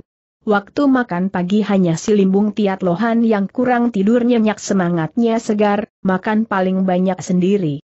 Singkatnya, mereka telah tiba di Gunung Tiat San. Tiga penjuru gunung itu merupakan laut sehingga sukar untuk mendaki ke atas. Secara terang-terangan datang berkunjung melalui pintu muka, tentu sukar diterima. Dan hal itu hanya akan mengejutkan lawan saja. Maka diputuskan akan naik pada waktu malam, setelah menolong Kiyok Lan, baru nanti membasmi kawanan penjahat gunung itu. Untuk menghilangkan kecurigaan musuh, mereka-mereka mengambil jalan kecil di sebuah desa. Petang hari mereka sudah tak jauh dari kaki gunung. Dan pada waktu malam itu mereka memasuki sebuah desa kecil yang terdiri hanya beberapa buah rumah. Saat itu sepi sekali, penduduk di situ sudah tidur. Mereka berhenti di sebuah rumah batuhan dan mengetuk pintu. Seorang kakek tua berumur tahun 1970-an tahun membuka pintu. Tok Chun menyatakan bahwa dia bersama beberapa saudaranya hendak minta tolong meniupkan kuda. Melihat kelima tetamunya itu bersikap sopan dan menghormat, orang tua itu mempersilahkan mereka masuk. Lima orang pemuda muncul dengan membawa lentera. Bawalah kelima ekor kuda tetamu kita ini ke belakang dan beri makan secukupnya, kata orang tua itu. Setelah menghaturkan terima kasih, Kelima pemuda itu pun segera pergi dalam malam gelap, setelah berunding sejenak, mereka segera gunakan ilmu lari, dan tak berapa lama tiba di kaki gunung sebelah utara. Gunung Tiatsan mempunyai bentuk seperti seorang raksasa hitam. Sejenak merenung, diam-diam Gin Leong teringat akan peringatan Swan Yau Esatio Tek Bieng bahwa Gunung Tiatsan itu amat berbahaya sekali. Kemudian mereka mulai mendaki. Gin Leong dan Tek Kun di muka, Lan Hwa dan Li Kun di tengah, sedang si Limbung Tiati Ohon di belakang. Mereka tiba di sebelah karang terjal yang menjulang tinggi. Udara berselimut kabut tebal sehingga sukar melihat di atas jarak 40 tombak. Untuk menghindari serangan senjata gelap, mereka satu demi satu melambung ke atas puncak. Pertama-tama yang enjot tubuh ke udara adalah Gin Leong. Karena pengalaman di Gunung Motiania, begitu tiba di puncak karang itu segera ia bersembunyi di balik segunduk batu. Baru tiba di belakang batu, hidungnya sudah terdampar bau yang harum, ketika berpaling ternyata si jelita Tiolikun sudah berada di sampingnya keduanya saling mengangguk tertawa. Setelah itu baru Molan HWA. Tek Chun dan terakhir si Limbung Tiat Lohan. Sampai pada jarak dua puluhan tombak di sebelah muka, hanya gunduk-gunduk batu yang aneh bentuknya, suara ombak mendebur yang terdengar. Mereka segera berjalan ke muka, Likun tetap mengikuti di belakang Gin Leong, Tek Chun mengikuti di belakang Molan Hwa dan si Limbung yang mengekor di belakang sendiri. Tak berapa lama mereka tiba di muka sebuah puncak kecil. Mendaki puncak itu, suasana amat menyenangkan. Penuh dengan pohon-pohon hijau, kabut berair yang menyegarkan muka, makin masuk ke depan, keadaan gunung makin berbahaya dan makin terdengar jelas debur ombak laut. Karena malam gelap, tanpa sengaja mereka telah tiba di sebuah lembah. Lembah itu penuh dengan rumput dan bunga-bunga tintan. Rupanya telah dibangun oleh kawanan Gunung Tiatsan menjadi sebuah tempat yang indah. Liong Te, kata Tek Chun, kalau tak salah kita sudah berada di tengah-tengah Gunung Tiatsan. Rasanya markas mereka sudah tak berapa jauh. Liong Te, tiba-tiba pula si jelita Li Kun berkata, mungkinkah terjadi suatu perubahan dalam markas mereka? Tanda tanya. Belum Gin Liong menjawab, Tek Chun sudah mendahului, kurasa tidak, Selama dalam perjalanan kita tak melihat bekas-bekas pertempuran.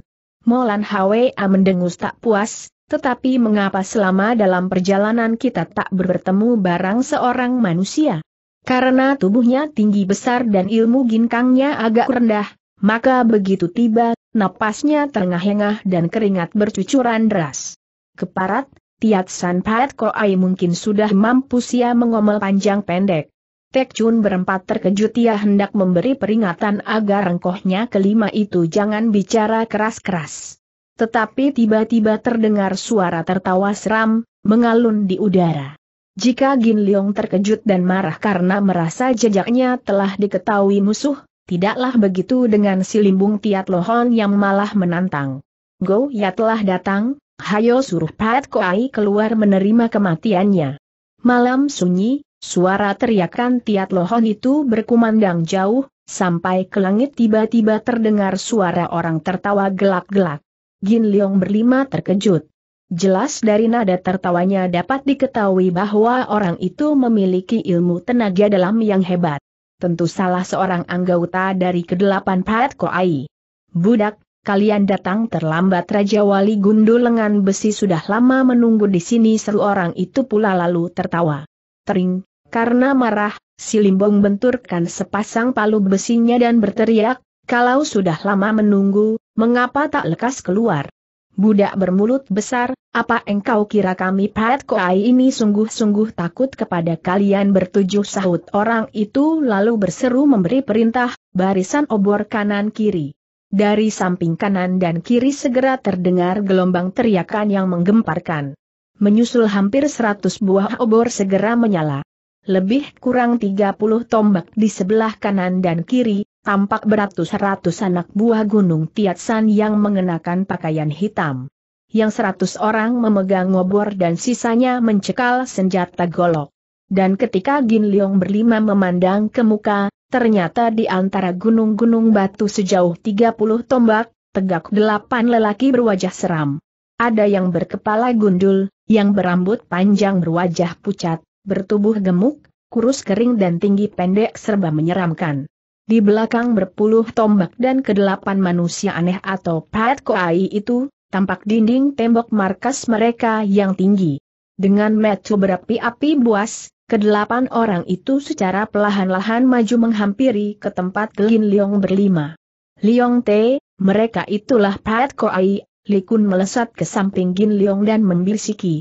yang di depan dari rombongan Pat Koai itu kepalanya gundul, rambut putih, hidung bengkok, umurnya tahun 1970-an tahun, mengenakan jubah yang panjang sampai menyapu tanah.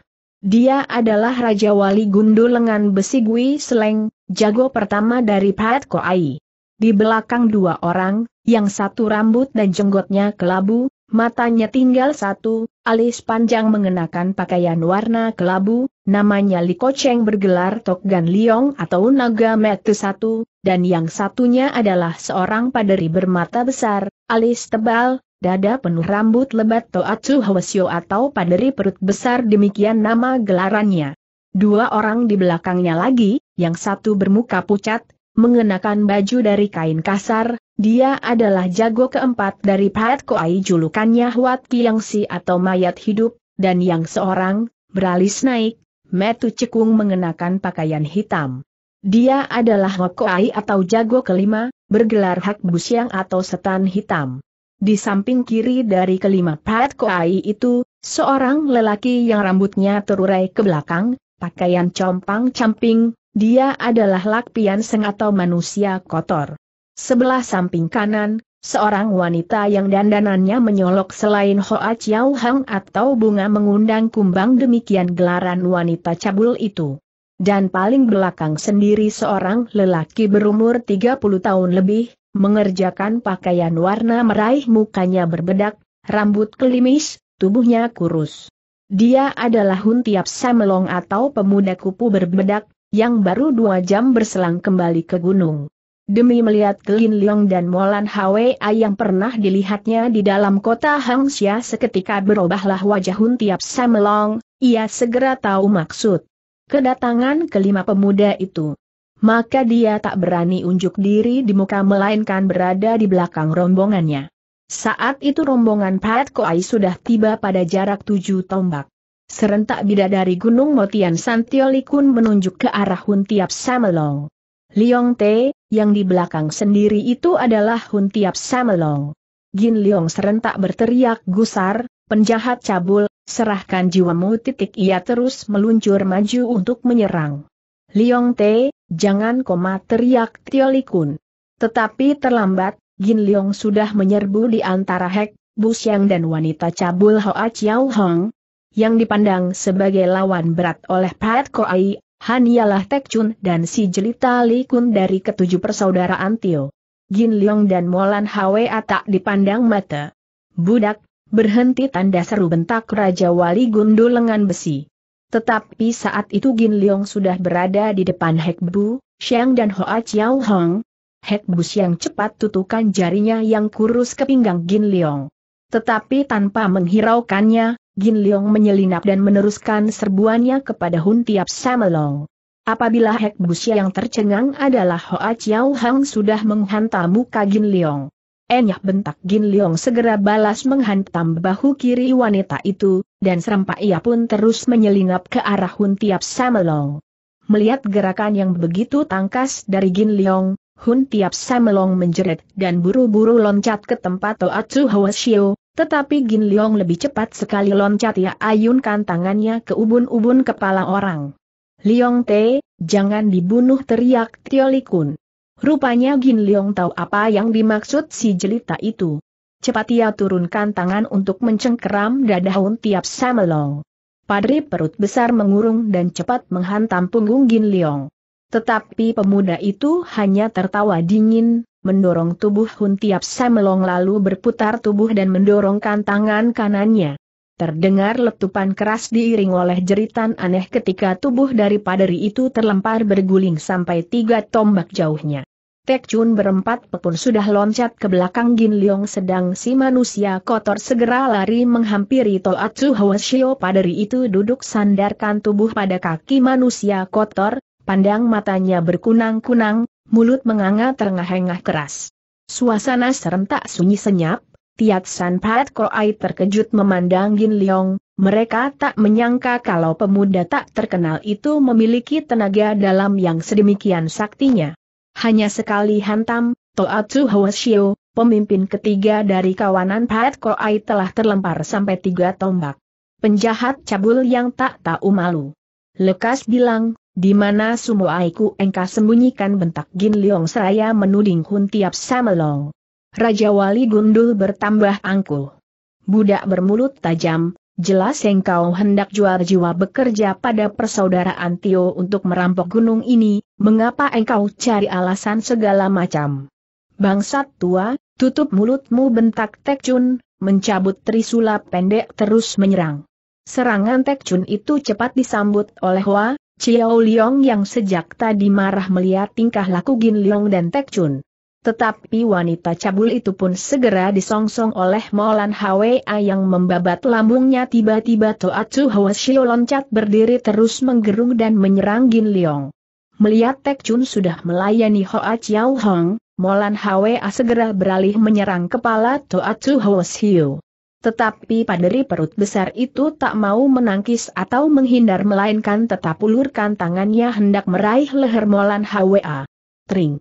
Molan HWA terkesiap, ternyata gundul Toatsu Hwasyo itu sekeras baja, dan dalam pada itu tangan si paderi pun hampir tiba di leher si Nona.